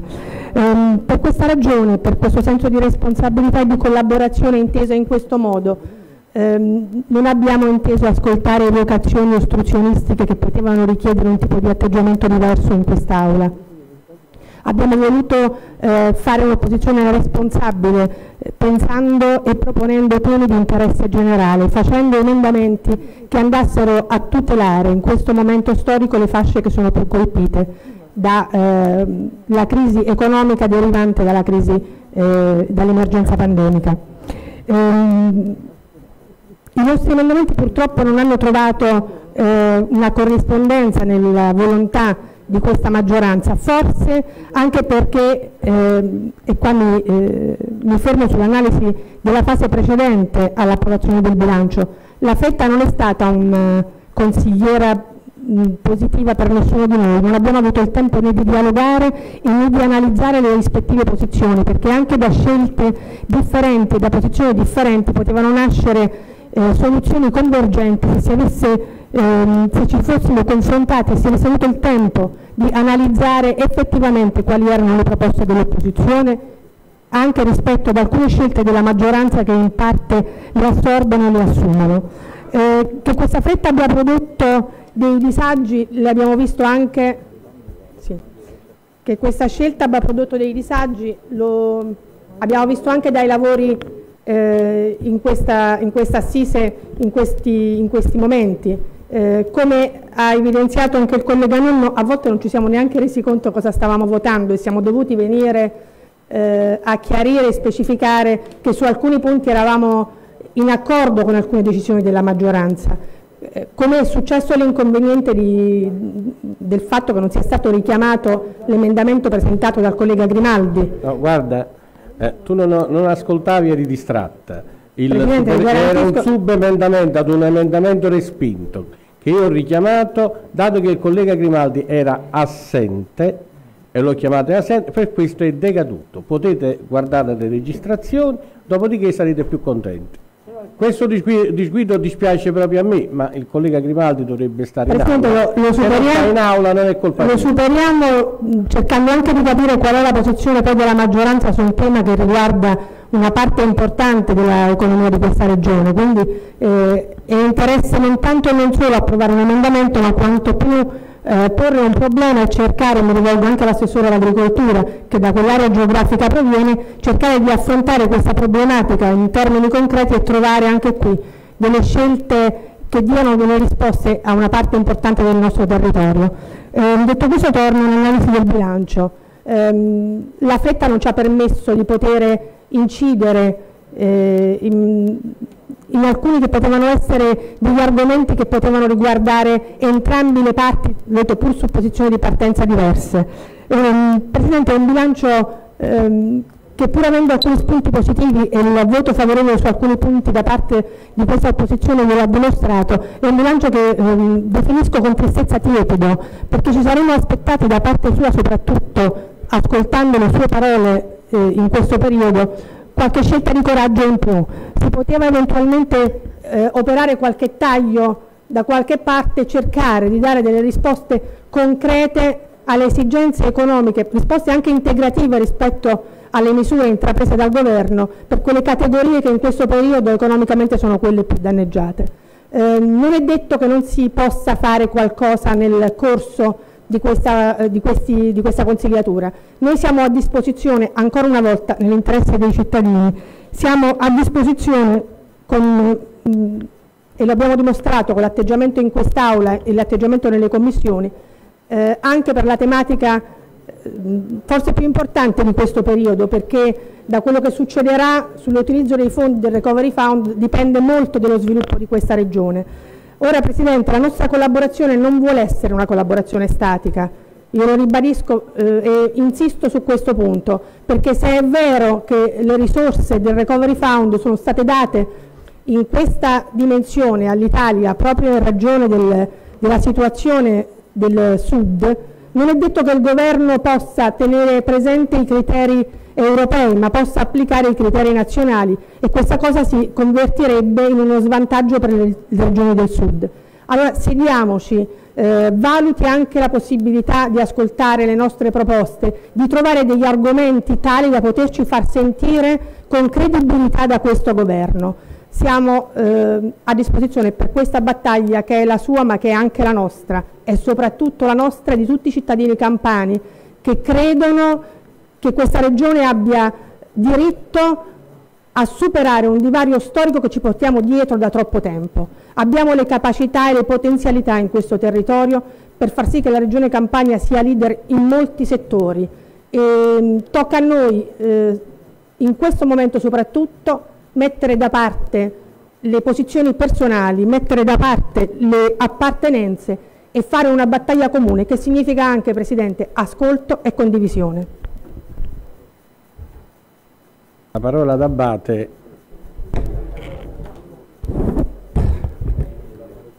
Grazie.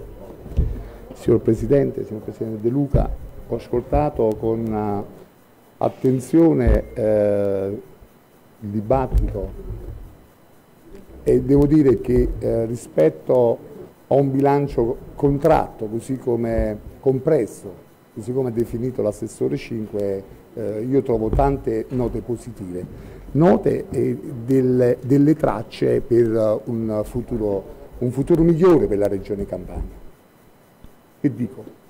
Eh, in attesa del Recovery Fund noi dobbiamo però iniziare a ragionare su come vogliamo utilizzare e che come, e che come eh, vogliamo, vogliamo un attimo come vogliamo immaginare lo sviluppo della regione Campania, perché se sono gli stessi meccanismi che ci hanno portato in queste condizioni, io credo che noi non riusciremo a dare, a imprimere alla regione Campania la, eh, diciamo, la giusta vitalità sia economica che sociale, va bene, che merita.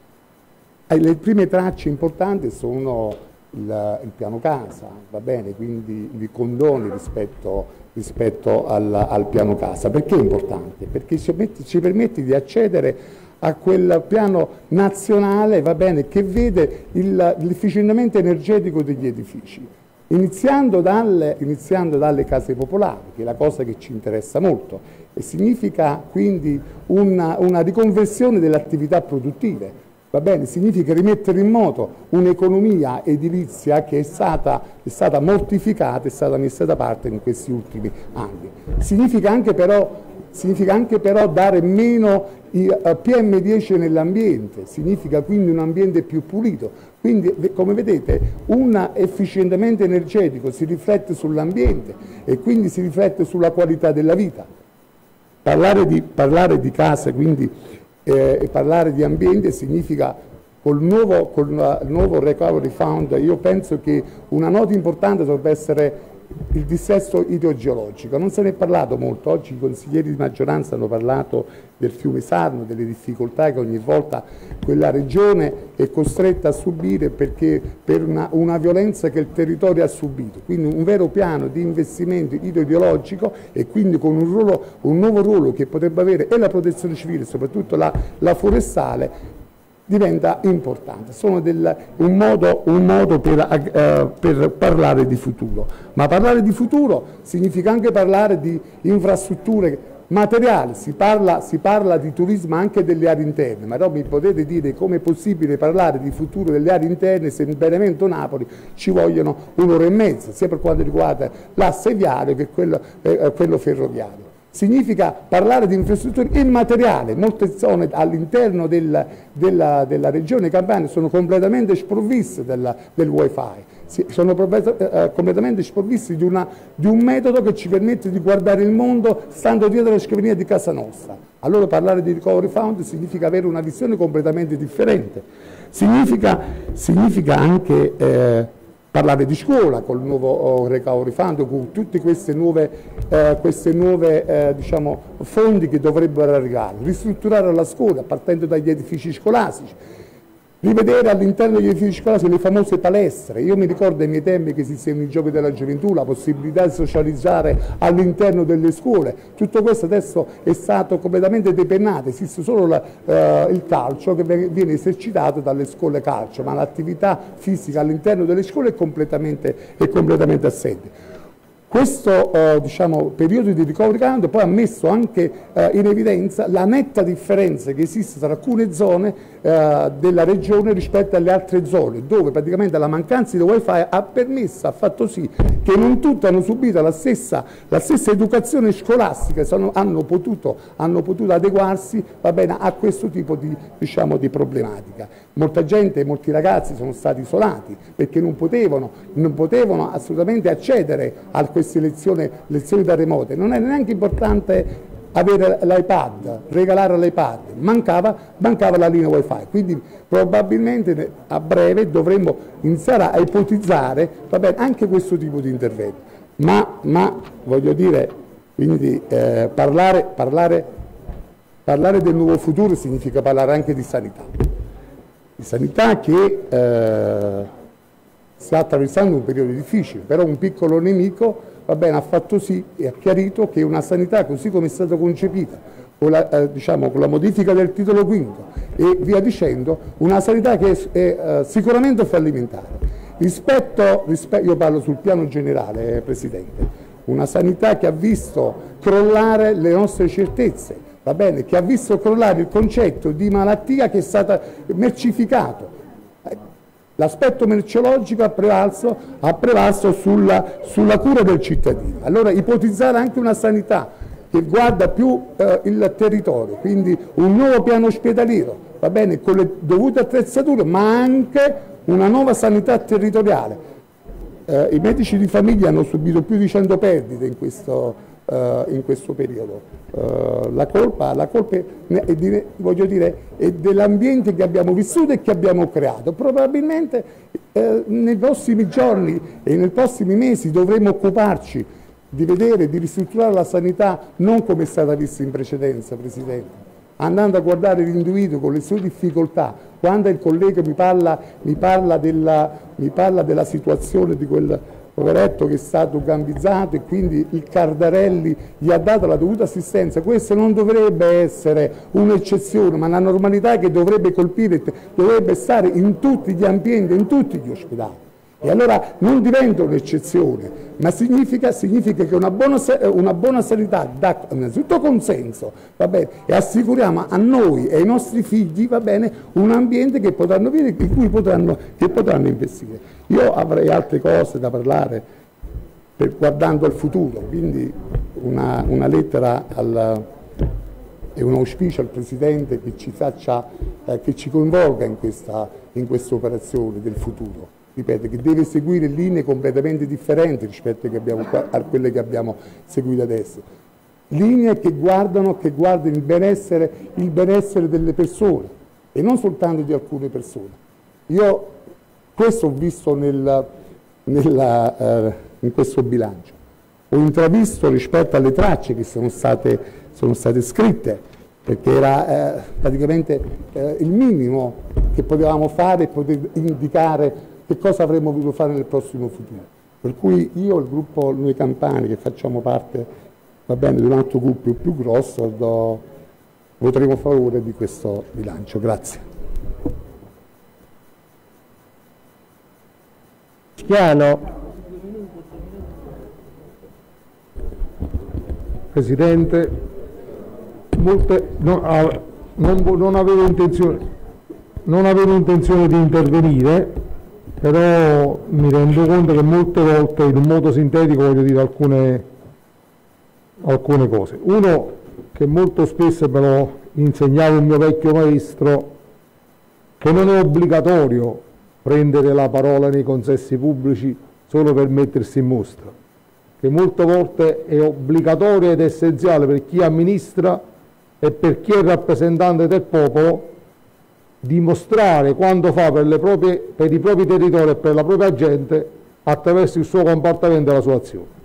Questo è quello che vale, quindi io non sto qui a rivendicare quello che fanno i nostri governanti, quello che fanno i nostri riferimenti, sto qui a dire che attraverso la nostra azione, attraverso la nostra operatività, attraverso la nostra, il modus operandi noi possiamo dimostrare quanto vogliamo e quanto sappiamo fare per i nostri territori. Presidente De Luca, la nostra sicuramente, come ha potuto vedere, è un'azione politica di collaborazione e sarà di collaborazione se la maggioranza vuole la collaborazione. Infatti ci siamo confrontati col Presidente della Commissione Bilancio, quale, eh, dal quale alcune cose sono state recepite, però molte cose purtroppo anche per mancanza di tempo, come diceva appunto prima l'assessore 5, forse non ha dato ecco, quel giusto spazio di confronto. Però io dico che molte volte quando si vuole portare avanti quando si porta diciamo, a completamento una legge di bilancio è giusto ed è corretto prendere i migliori suggerimenti perché questo serve a chi amministra questa regione Campania e lei legittimamente con il voto popolare è stato designato all'amministrazione di questa regione Campania e noi vogliamo fare la nostra parte, però la vogliamo fare consapevoli che la possiamo fare solo se la maggioranza ce lo consentirà, altrimenti se si va al voto sicuramente le opposizioni soccombono sempre. Invece noi vogliamo dare con la massima onestà intellettuale tutto il nostro contributo affinché in un momento particolare come questo, in un momento pandemico, in un momento dove veramente la Campania sta soffrendo a seguito della pandemia sanitaria anche una pandemia economica che purtroppo era sotto diciamo, risapute e tutti quanti ce lo aspettiamo, facciamo tutti la nostra parte, vogliamo fare tutti la nostra parte affinché possiamo dare in senso concreto e in modo concreto le giuste risposte alle nostre collettività. Grazie. Siamo alla votazione del provvedimento composto da 35 articoli e da un allegato. Si passa alla votazione elettronica. Prego, colleghi, di prendere posto e di votare. È aperta la votazione.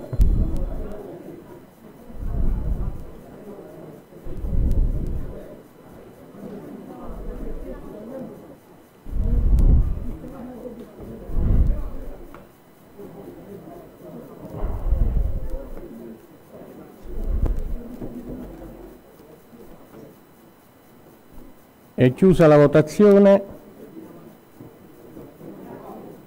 Presenti 39, votanti 39.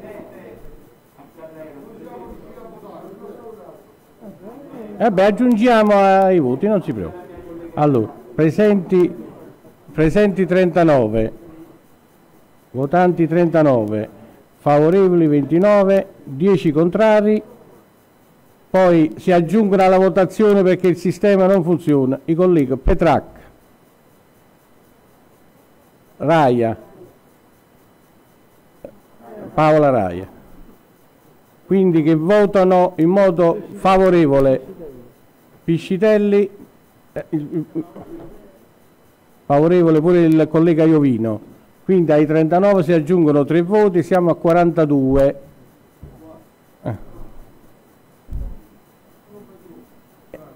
vogliamo rivotare, però se, se, prendete posto, perché evidentemente riapriamo, riapriamo la votazione, la regia per favore. Sì. Siamo pronti, possiamo votare? Prego, è aperta la votazione. Votiamo. Abbiamo votato tutti? Chiusa la votazione. Presenti 45, votanti 45, favorevoli 33, contrari 12, astenuti 0. Il provvedimento è approvato, che è composto da 35 articoli e da un allegato. Passiamo al punto 5 all'ordine del giorno, esame del disegno di legge bilancio di previsione finanziaria per il triennio 2021-2023 della Regione Campania, delibri giunta regionale numero 565 del 10 dicembre 2020, registro generale numero 20. Comunica che la seconda commissione consiliare, riunitisi nella seduta del 21 dicembre ultimo scorso, ha esaminato il provvedimento e a maggioranza ha deciso di riferire favorevolmente all'Aula. Comunica che il provvedimento è munito dalla relazione del Collegio dei Revisori dei Conti, resi in data 22 dicembre 2020. Il relatore in atto è stato designato il Presidente della Commissione Francesco Picarone, cui concedo la parola. Prego Picarone. Debiti fuori bilancio? Il bilancio, vabbè, insomma, sono tutti documenti depositati agli atti, li diamo per letti, insomma, perché se no non ce ne usciamo.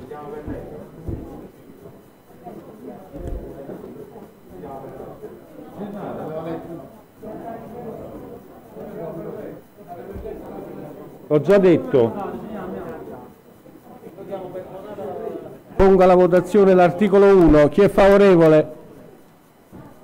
Chi è contrario? Chi si astiene? Col voto, scusami Ciarambino, col voto contrario dei 5 Stelle e del centrodestra l'articolo 1 è approvato.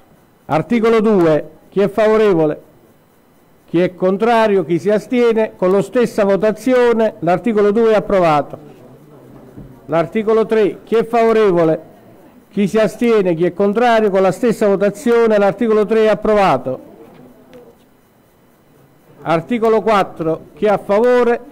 Chi si astiene? Chi è contrario? Con la stessa votazione l'articolo 4 è approvato.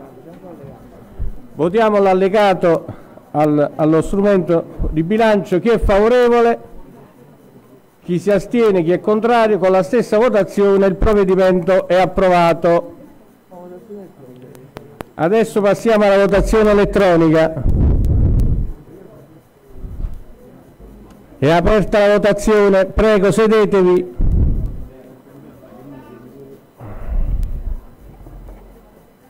Avete votato tutti?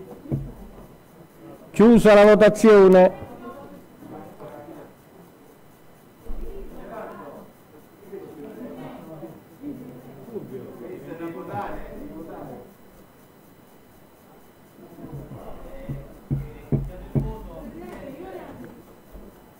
Eh, scusami Ciarambino, tu sei seduta, ho aperto la votazione e sei distratta, è la colpa... No, ripetiamo la votazione, tanto ci mettiamo meno. Ripetiamo la votazione per favore. Aperta la votazione. Aperta la votazione. Prego, abbiamo votato tutti? Chiusa la votazione. Presenti 43, votanti 43, favorevoli 31, 12 contrari, astenuti nessuno. Il provvedimento è approvato.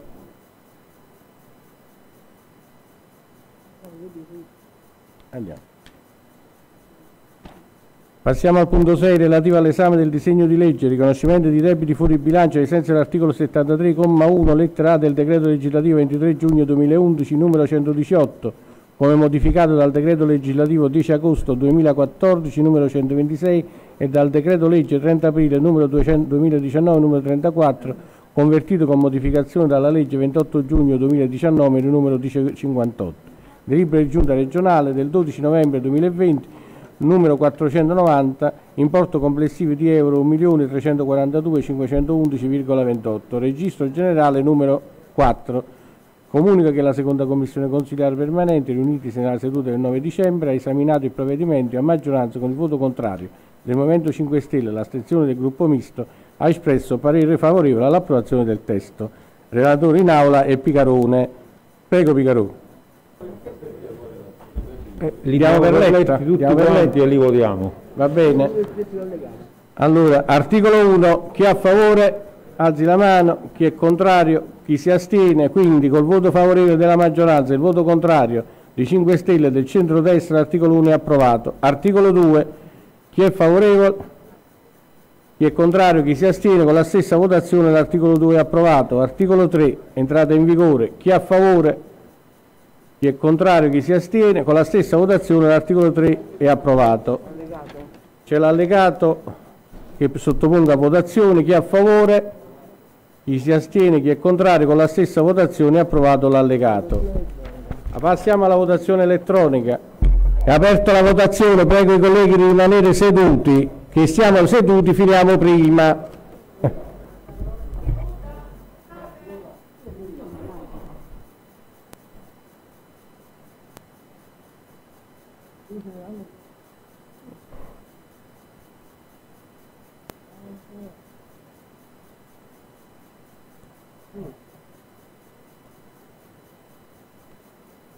Prego, non hai votato, se voti così chiudo la votazione.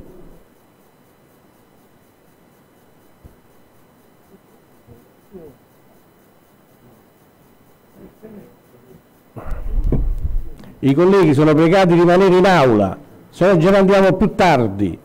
Ecco. Chiusa la votazione. Presenti 44, votanti 44, 30 favorevoli, contrari 12, 2 astenuti, il provvedimento è approvato. Punto 7 all'ordine del giorno, registro generale numero 5, debiti fuori bilancio.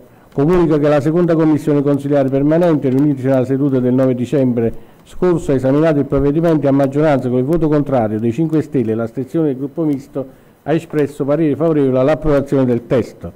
Eh, relatore in aula è Picarone che desiste dal relazionare e passiamo direttamente alla votazione di quanto previsto. Articolo 1, chi è favorevole? Chi è contrario? Chi si astiene? Con il voto favorevole della maggioranza, il voto contrario di 5 Stelle e del centrodestra, l'articolo 1 è approvato. Articolo 2, chi è a favore? Chi si astiene, chi è contrario, con la stessa votazione l'articolo 2 è approvato. Articolo 3, chi è favorevole, chi si astiene, chi è contrario, l'articolo 3 è approvato con la stessa votazione. Approviamo l'allegato alla, alla delibera. Chi è favorevole, chi è contrario, chi si astiene, l'allegato è approvato a maggioranza con il voto contrario dei 5 Stelle del centrodestra. Passiamo adesso alla votazione elettronica. Prego i colleghi di venire in aula che stiamo votando. La votazione è aperta.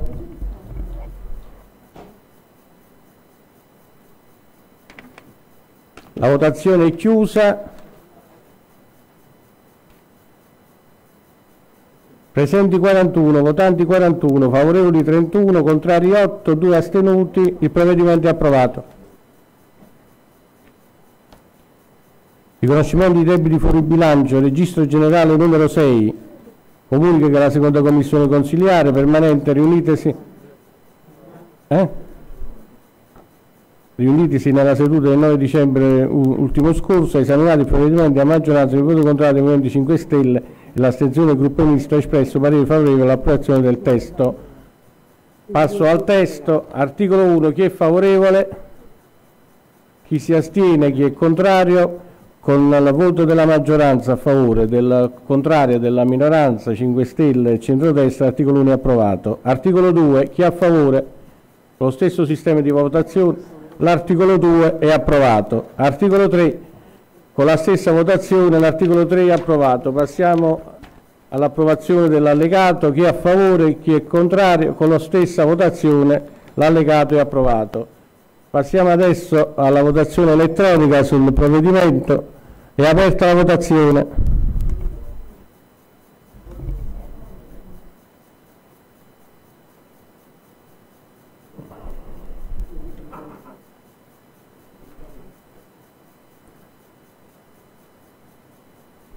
È chiusa la votazione. Presenti 42, votanti 42, favorevoli 29, contrari 11, astenuti 2. Il provvedimento è approvato. Debiti fuori bilancio, registro generale numero 7. Comunico che la seconda commissione consigliare lo ha approvato nella seduta del 9 dicembre scorso e il provvedimento è stato approvato a maggioranza con voto contrario dei 5 Stelle e astensione del gruppo misto. Passiamo alla lettura del testo. Articolo 1. Chi è a favore? Chi è contrario? Chi si astiene? A maggioranza l'articolo 1 è approvato col voto contrario 5 Stelle del centrodestra. Articolo 2 con la stessa votazione. Articolo 3 con la stessa votazione. Passiamo alla votazione dell'allegato. Stessa votazione all'allegato. Passiamo adesso al voto elettronico. Prego i colleghi di prendere posto, di non allontanarsi. La votazione è aperta.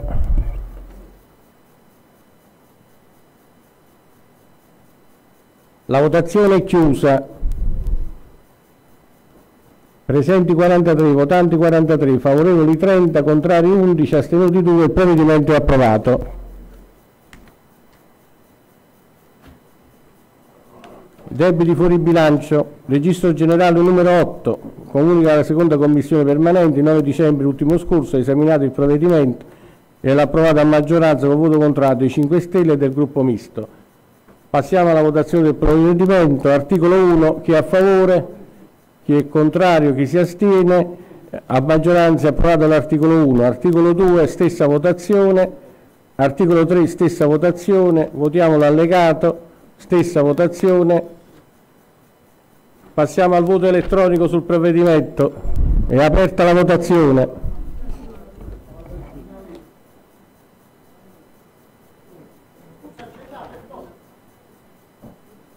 E così sta, in verbale me la danno, scusa. Il verbale è questo, io leggo il verbale che mi danno. Eh. E c'è nel verbale, guardate. Io sto leggendo lo speech che mi fanno dall'ufficio. Allora, sì, eccolo, io lo sto leggendo. Benissimo, poco male, non, non, non ricordate qui avete votato a favore. Il voto in aula. Va bene, registro generale numero 9 del 9 dicembre scorso. Passiamo alla votazione del provvedimento. Articolo 1. Chi è a favore? Chi è contrario? Chi si astiene? Col voto favorevole della maggioranza e il voto contrario dell'opposizione l'articolo 1 è, approvato. Articolo 2, stessa votazione. Articolo 3, stessa votazione. Allegato, stessa votazione. Passiamo al voto elettronico sul provvedimento. È aperta la votazione.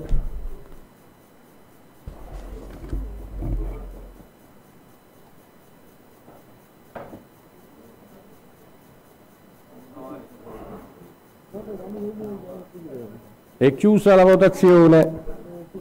Presenti 44, votanti 44, favorevoli 32, contrari 11, astenuti 1. Il provvedimento è approvato. Registro generale numero 10. Passiamo al provvedimento. Articolo 1. Chi è a favore? Chi si astiene? Chi è contrario? Col voto favorevole della maggioranza e il voto contrario dell'opposizione, l'articolo 1 è approvato. Articolo 2, stessa votazione. Articolo 3, stessa votazione. Allegato, stessa votazione. Passiamo alla votazione sul provvedimento. È aperta la votazione.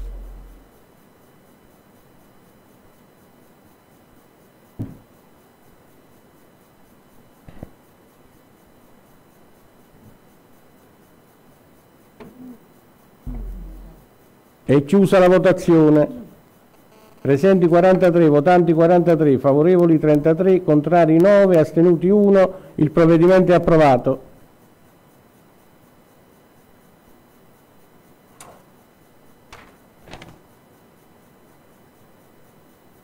Registro generale numero 12. La Commissione il 9 dicembre ultimo scorso ha approvato il provvedimento e l'ha relazionato favorevolmente all'Aula. Passiamo alla votazione del provvedimento. Articolo 1. Chi è a favore? La maggioranza è a favore, l'opposizione è contraria. L'articolo 1 è approvato. L'articolo 2 stessa votazione. Articolo 3 stessa votazione. La tabella allocata stessa votazione. Passiamo al voto sul provvedimento. È aperta la votazione.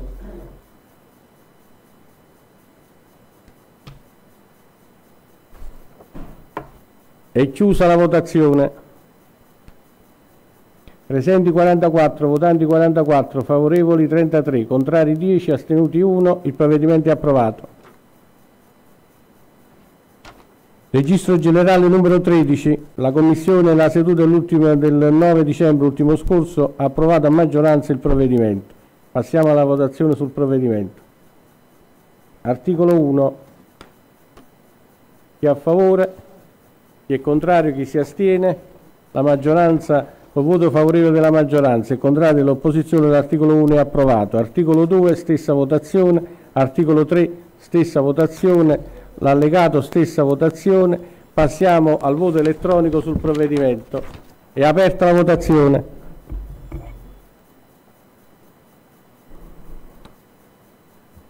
È chiusa la votazione. Presenti 41, votanti 41, favorevoli 29, contrari 10, astenuti 2, il provvedimento è approvato. Registro generale numero 14, la, la seconda commissione consigliare si è riunita nella seduta del 9 dicembre ultimo scorso e ha approvato a maggioranza il provvedimento in questione. Passiamo alla, alla votazione del provvedimento. Articolo 1. Chi è favorevole? Chi è contrario? Chi si astiene? Col voto favorevole della maggioranza. Il voto contrario delle opposizioni. L'articolo 1 è approvato. Articolo 2. Stessa votazione. Articolo 3. Stessa votazione. Sull'allegato stessa votazione. Passiamo al voto elettronico per appello nominale. Invito i consiglieri regionali a rimanere in aula. È aperta la votazione. È chiusa la votazione. Presenti 41, votanti 41, favorevoli 32, contrari 9, astenuti nessuno. Il provvedimento è approvato.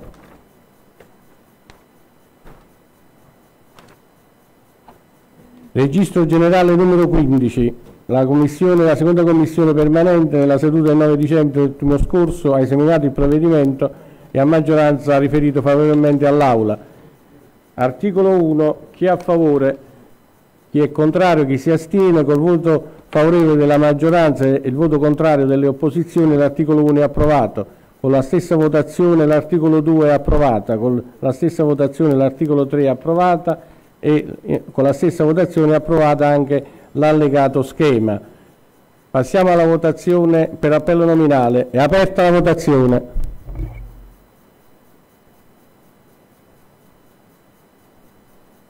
È chiusa la votazione.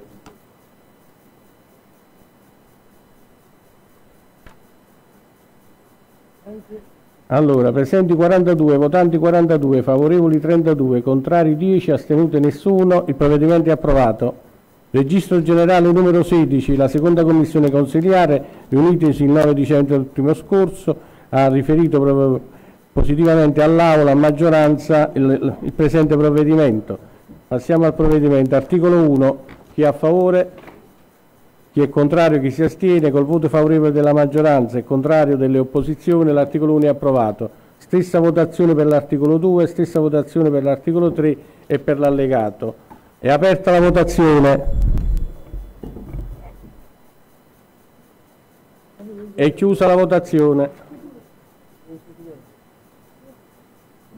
Presenti 39, votanti 39. Favorevoli 30, contrari 8, astenuti 1. Il provvedimento è approvato. I debiti, i debiti sono finiti, ci sono gli ordini.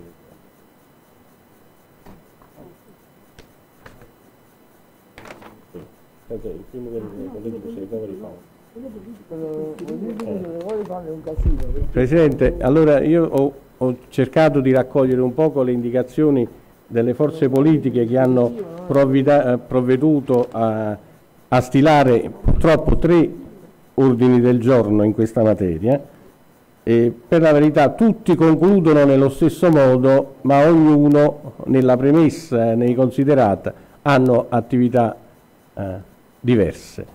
Io riterrei di votarle per parti separate in modo che alla fine il provvedimento unitario, che è quello finale, viene votato all'unanimità, ognuno si distingue per la posizione politica che vuole esprimere, però alla fine l'intero Consiglio regionale è d'accordo sulla finalità. Eh, volete i tre? Le conclusioni, leggiamo solo le conclusioni. Quelle di, maggioranza qual è? Oh. Il dispositivo. Sì, eh, ok, allora passo a leggere il dispositivo. Vuole intervenire Caldoro? Prego Caldoro. Eh, perché non ritiriamo le premesse? Facciamo prima. Votiamo un unico voto col dispositivo finale. Eh, benissimo. Io, questa è la cosa che diceva il Presidente De Luca. Eh. Benissimo. Eh, votiamo le dispositive e siamo a posto. Allora, noi ritiriamo le nostre premesse e ognuno di voi deve ritirare le proprie. Benissimo. Le devi ah. dichiarare, non lo può dire lui. Va bene. Prego Ciarambino. Grazie Presidente. Credo che questo sia un momento che richiede un, un, minimo di intervento perché riteniamo che sia un momento importante per questa assise e per la nostra Regione. Eh, insieme a tutto il mio gruppo eh, da tempo noi eh, portiamo avanti questa battaglia per un'equa ripartizione dei fondi da destinare al Sud, tant'è che abbiamo inteso depositare un atto che certamente muovesse dall'attualità, ovvero la necessità di, garantire un riparto del Recovery Fund che fosse commisurato ai principi definiti dall'Europa per stabilire il quantum da attribuire all'Italia. Se i principi definiti dall'Europa includono anche il tasso di disoccupazione degli ultimi cinque anni, oltre al decremento del PIL, non si capisce perché a fronte dei 209 miliardi ricevuti dall'Italia sulla base di questi principi, poi nel riparto interno si debba unicamente utilizzare il criterio della popolazione residente. Nel merito di questa vicenda, quando ancora diciamo, si parlava in termini teorici del, uh, del Recovery Fund, uh, noi scrivemmo, io scrissi una lettera al Presidente Conte chiedendo, uh, proprio in virtù delle sue declaratorie da sempre enunciate, la massima attenzione per le esigenze del Sud Italia e della nostra Regione.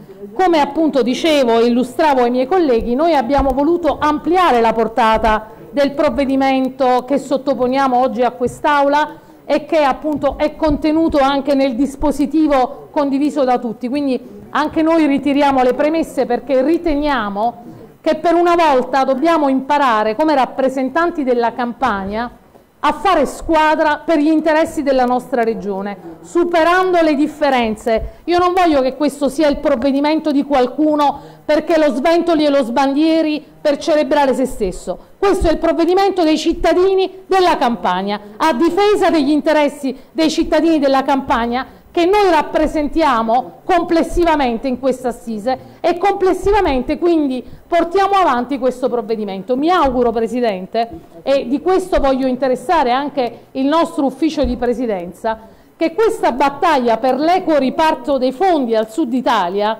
arrivi in tutte le sedi istituzionali. Il Presidente De Luca l'ha portata all'attenzione dei Presidenti delle regioni meridionali, noi abbiamo il dovere di portarla all'attenzione dei presidenti dei consigli regionali meridionali, auspicando che i consiglieri regionali delle regioni interessate possano seguire questa scia e parimenti i rappresentanti che siedono in Parlamento delle nostre regioni.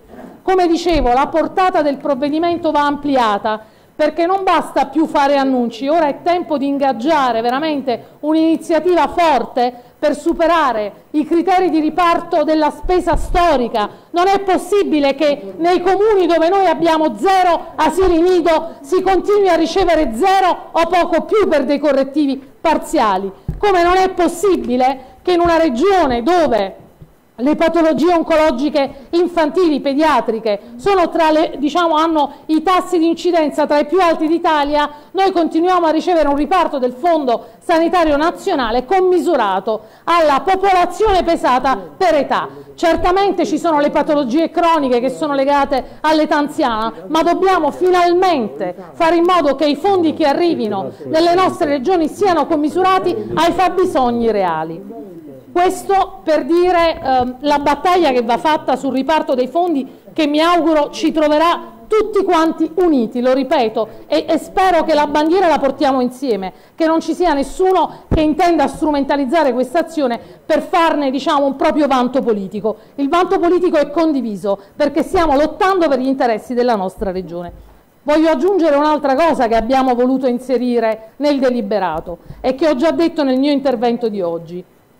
Presidente, la spesa dei fondi europei, di tutti i miliardi che ci sono arrivati in questi anni, in altre regioni d'Europa ha cambiato il volto di quelle regioni. Nella nostra regione è servita a fare le fontane nelle piazze e a riparare le buche, salvo poi accorgersi all'ultimo minuto che non eravamo riusciti a spenderli e utilizzare il criterio dell'accelerazione della spesa, quindi l'esatto contrario dell'obiettivo dei fondi che riceviamo che dovrebbero servire per interventi strutturali e strategici tesi a rimuovere il divario con le regioni settentrionali. Ora, se andiamo a guardare i dati relativi all'attuazione dei fondi FESR e FSE al 31-12-2019, cioè prima dello shock economico, c'è poco da celebrare per la capacità di spesa della Regione Campania. È chiaro che poi li abbiamo spesi perché li abbiamo dedicati all'emergenza Covid e quindi è aumentata la percentuale di spesa. Ma siamo seri, facciamo le persone serie. Dentro il deliberato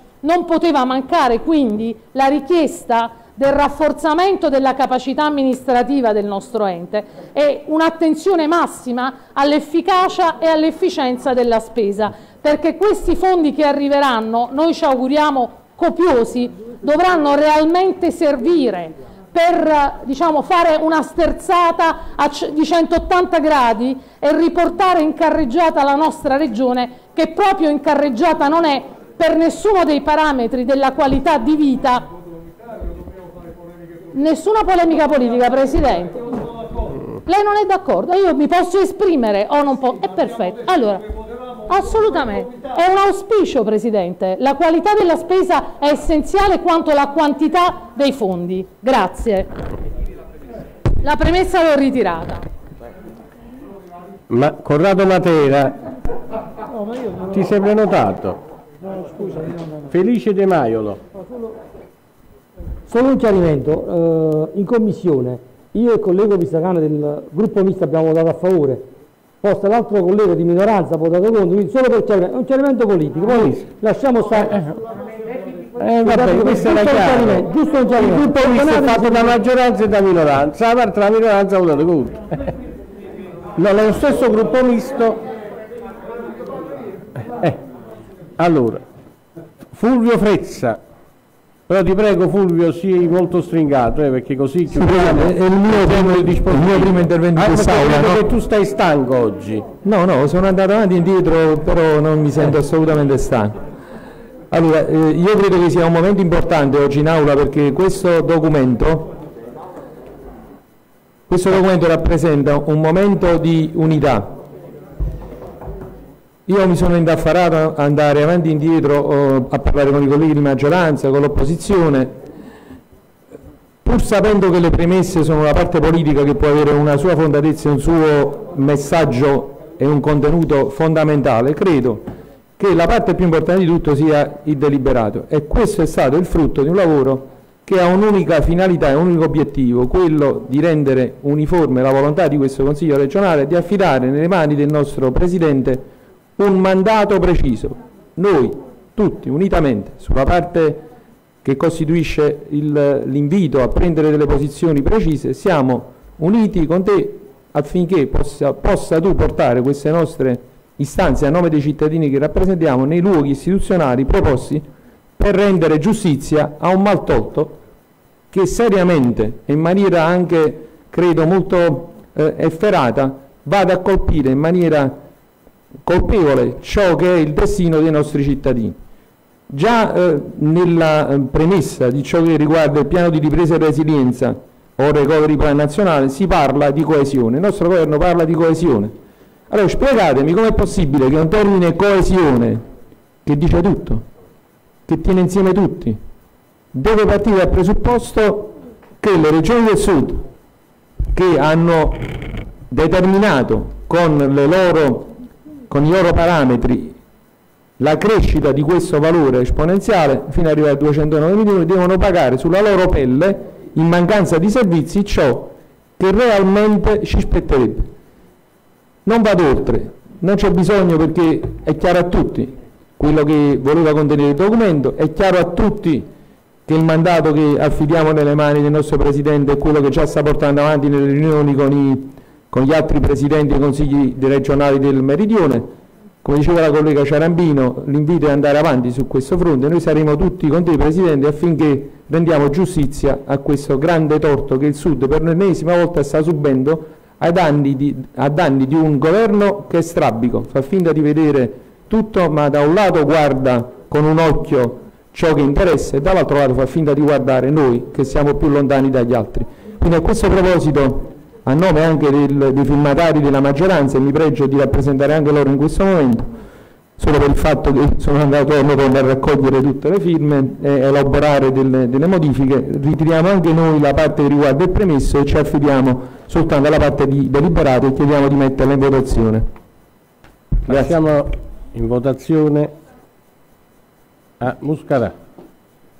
Soltanto 20 secondi. Eh, non sarò lunga come gli altri, ma vorrei soltanto sottolineare una cosa, che si è parlato, si è parlato tanto, ma non si è parlato di numeri. I numeri invece sono quelli che ci possono dare il segnale forte di quello che bisognerà andare a fare quando si andrà a combattere questa battaglia. Dal 2001 al 2019 al Sud sono state attribuite sempre soltanto il 25% delle risorse stanziate per l'intera penisola. Sono vent'anni che il Sud subisce questo affronto. 850 miliardi sono quelli che ci sono stati rubati negli ultimi 17 anni. La, eh, la, la, comunità europea ha deciso che il 28% delle risorse complessive spetti all'Italia. Questo significa 65-70% al sud. Chiunque in maniera anche come se fosse una graziosa elargizione, ci parla del 40%, sta già sottraendo sviluppo e speranza al nostro territorio. Quindi l'invito a fare questa battaglia, a farla tutti quanti insieme, penso che sia quel doveroso da parte di tutti, senza che nessuno faccia passi indietro. Bene, dato che comunque il documento è stato uh, letto, sottoscritto, lavorato da tutti, è inutile che passo a leggere eh, eh, la parte finale. Votiamo questo provvedimento e siamo sicuri che il Presidente De Luca sarà, saprà portare avanti le istanze della nostra Regione. E auguri Presidente, auguri a tutti. Poi ci sono gli altri, altri ordini del giorno, il Presidente se no poi noi questi li facciamo noi. Ci sono gli altri ordini del giorno, vi leggo questi. Allora, registro generale 5 4, emergenza sanitaria Covid-19. Chi è a favore votato all'unanimità. Registro generale 6 4, centro sportivo Paradisi di Soccavo. Chi è a favore? Votato all'unanimità. Registro generale 7 4, Costituzione organismo europeo di governo emergenza sanitaria transnazionale. Chi è a favore? Votato all'unanimità. Registro 10 4, del 16-12 scusami Sarabì eh, scusate. Colleghi finiamo di votare gli altri ordini del giorno. Un po' di pazienza 5 minuti e finiamo. Colleghi colleghi colleghi. Colleghi accomodatevi Colleghi, ci stanno gli altri ordini del giorno, per il rispetto dei colleghi che li hanno presentati. Se stiamo tranquilli 5 minuti, ma che rimandiamo? Scusami, mia patriarca. Eh, eh, siedi, se ti vuoi sedere ti siedi. Allora, prego, mi dica... Benissimo. Allora, noi abbiamo votato a favore della riduzione del 50% dell'addizionale, non ho il, il, numero di registro generale, non si legge, 16-4. Bene. Ok, abbiamo votato a favore dell'11-4 e abbiamo votato a favore del 11-4 ancora l'abbiamo votato. E quale ha votato? Abbiamo votato il registro 5 4. E abbiamo votato a favore? Sì, il registro 6 4. È un, attimo, è un centro sportivo Paradisi no, di Soccavo. Su questo ci asteniamo. Vi astenete, benissimo. Sì. Il centrodestra che fa sul Soccavo? Sul Soccavo che fa il centrodestra? Scusami, è un ordine del giorno per il centro sportivo di Soccavo. Ah, si astiene il centrodestra, quindi a maggioranza. Co- Costituzione organismo europeo di governo emergenza sanitaria transazionale a favore di Fulvio Frezza. Ci asteniamo. Si Presidente. astengono, votate a maggioranza. Su Soccavo siete a favore, mettitevi d'accordo però, eh. Siete a tre, mettetevi d'accordo. Eh. Eh, lo so, ma io dato che Natale non lo voglio passare assieme a te, faccio essere, sono veloce. Allora, registro generale 11 barra 4. Registro generale 10 barra 4 a firma Zinzi, Nappi e Pirro. Sono d'accordo? Il 10 barra 4. E te ti, ti leggo che dice messa in mora dell'Italia da parte della UE per le norme contenute nella legge 145. E la Bockenstein. No, noi non ci Allora, i 5 asteniamo. Stelle votano contro, il Partito Democratico che fa? No, noi ci asteniamo, Si Presidente. astiene, il Partito Democratico si astiene, vota contro. Zinzi, Nappi e Pirro. Messa in mora, se state a sentire 5 minuti, messa in mora dell'Italia da parte della UE per le norme contenute nella legge 145 2018 sulle concessioni degli stabilimenti balneari. Praticamente loro si... Allora su questo dobbiamo votare a favore. Allora, chi è a favore? A maggioranza con l'astensione dei 5 Stelle l'ordine del giorno è approvato. Registro generale 11 barra 4 a firma di Gennaro Oliviero. Chi è a favore? All'unanimità è approvato. Registro generale 13 barra 4 Recovery Fund risorse il Sud, questo l'abbiamo superato. Quest'altro pure è superato, il 15 barra 4 eh, fondi per il sostegno all'edilizia scolastica regionale a firma della patriarca, la quale se ne voleva andare prima. Chi è a favore? Voglio dire una cosa. Allora, la Regione in realtà già predispone il piano per l'edilizia scolastica Sì. e finanzia gli interventi su una Bene. serie di linee, quindi lo trovo ridondante. E voglio dire anche un'altra cosa. Eh, le nostre astensioni sono frutto del mancato approfondimento degli atti perché li abbiamo ricevuti cinque minuti fa in aula. eh. Ma eh, co- collega Ciarambino, questi ordini del giorno sono richiamati dalla passata conferenza dei Presidente, non sono depositati. Non sono sono richiamati tutti in conferenza, veramente Valeria, non, sono- non ne avrei parlato, per carità. Benissimo. Fondi per il sostegno all'edilizia scolastica, come si vota? Chi è a favore? Allora, 5 Stelle si astengono, il PD si astiene, la patriarca giustamente col voto favorevole del centrodestra è approvato, perché 6 voti approvano l'ordine del giorno. Registro generale 16 4 del 23-12-2020, riduzione del 50% dell'addizionale IRPEF nelle aree interne della regione Campania, a firma di Oliviero ed altri. Chi è favorevole? All'unanimità. È la firma di tutti, eh, questo è stato firmato da tutti. Quindi signori, l'ordine del giorno l'abbiamo esaurito in tempi quasi europei. Vi auguro a tutti buon Natale e a presto vederci. La seduta è tolta.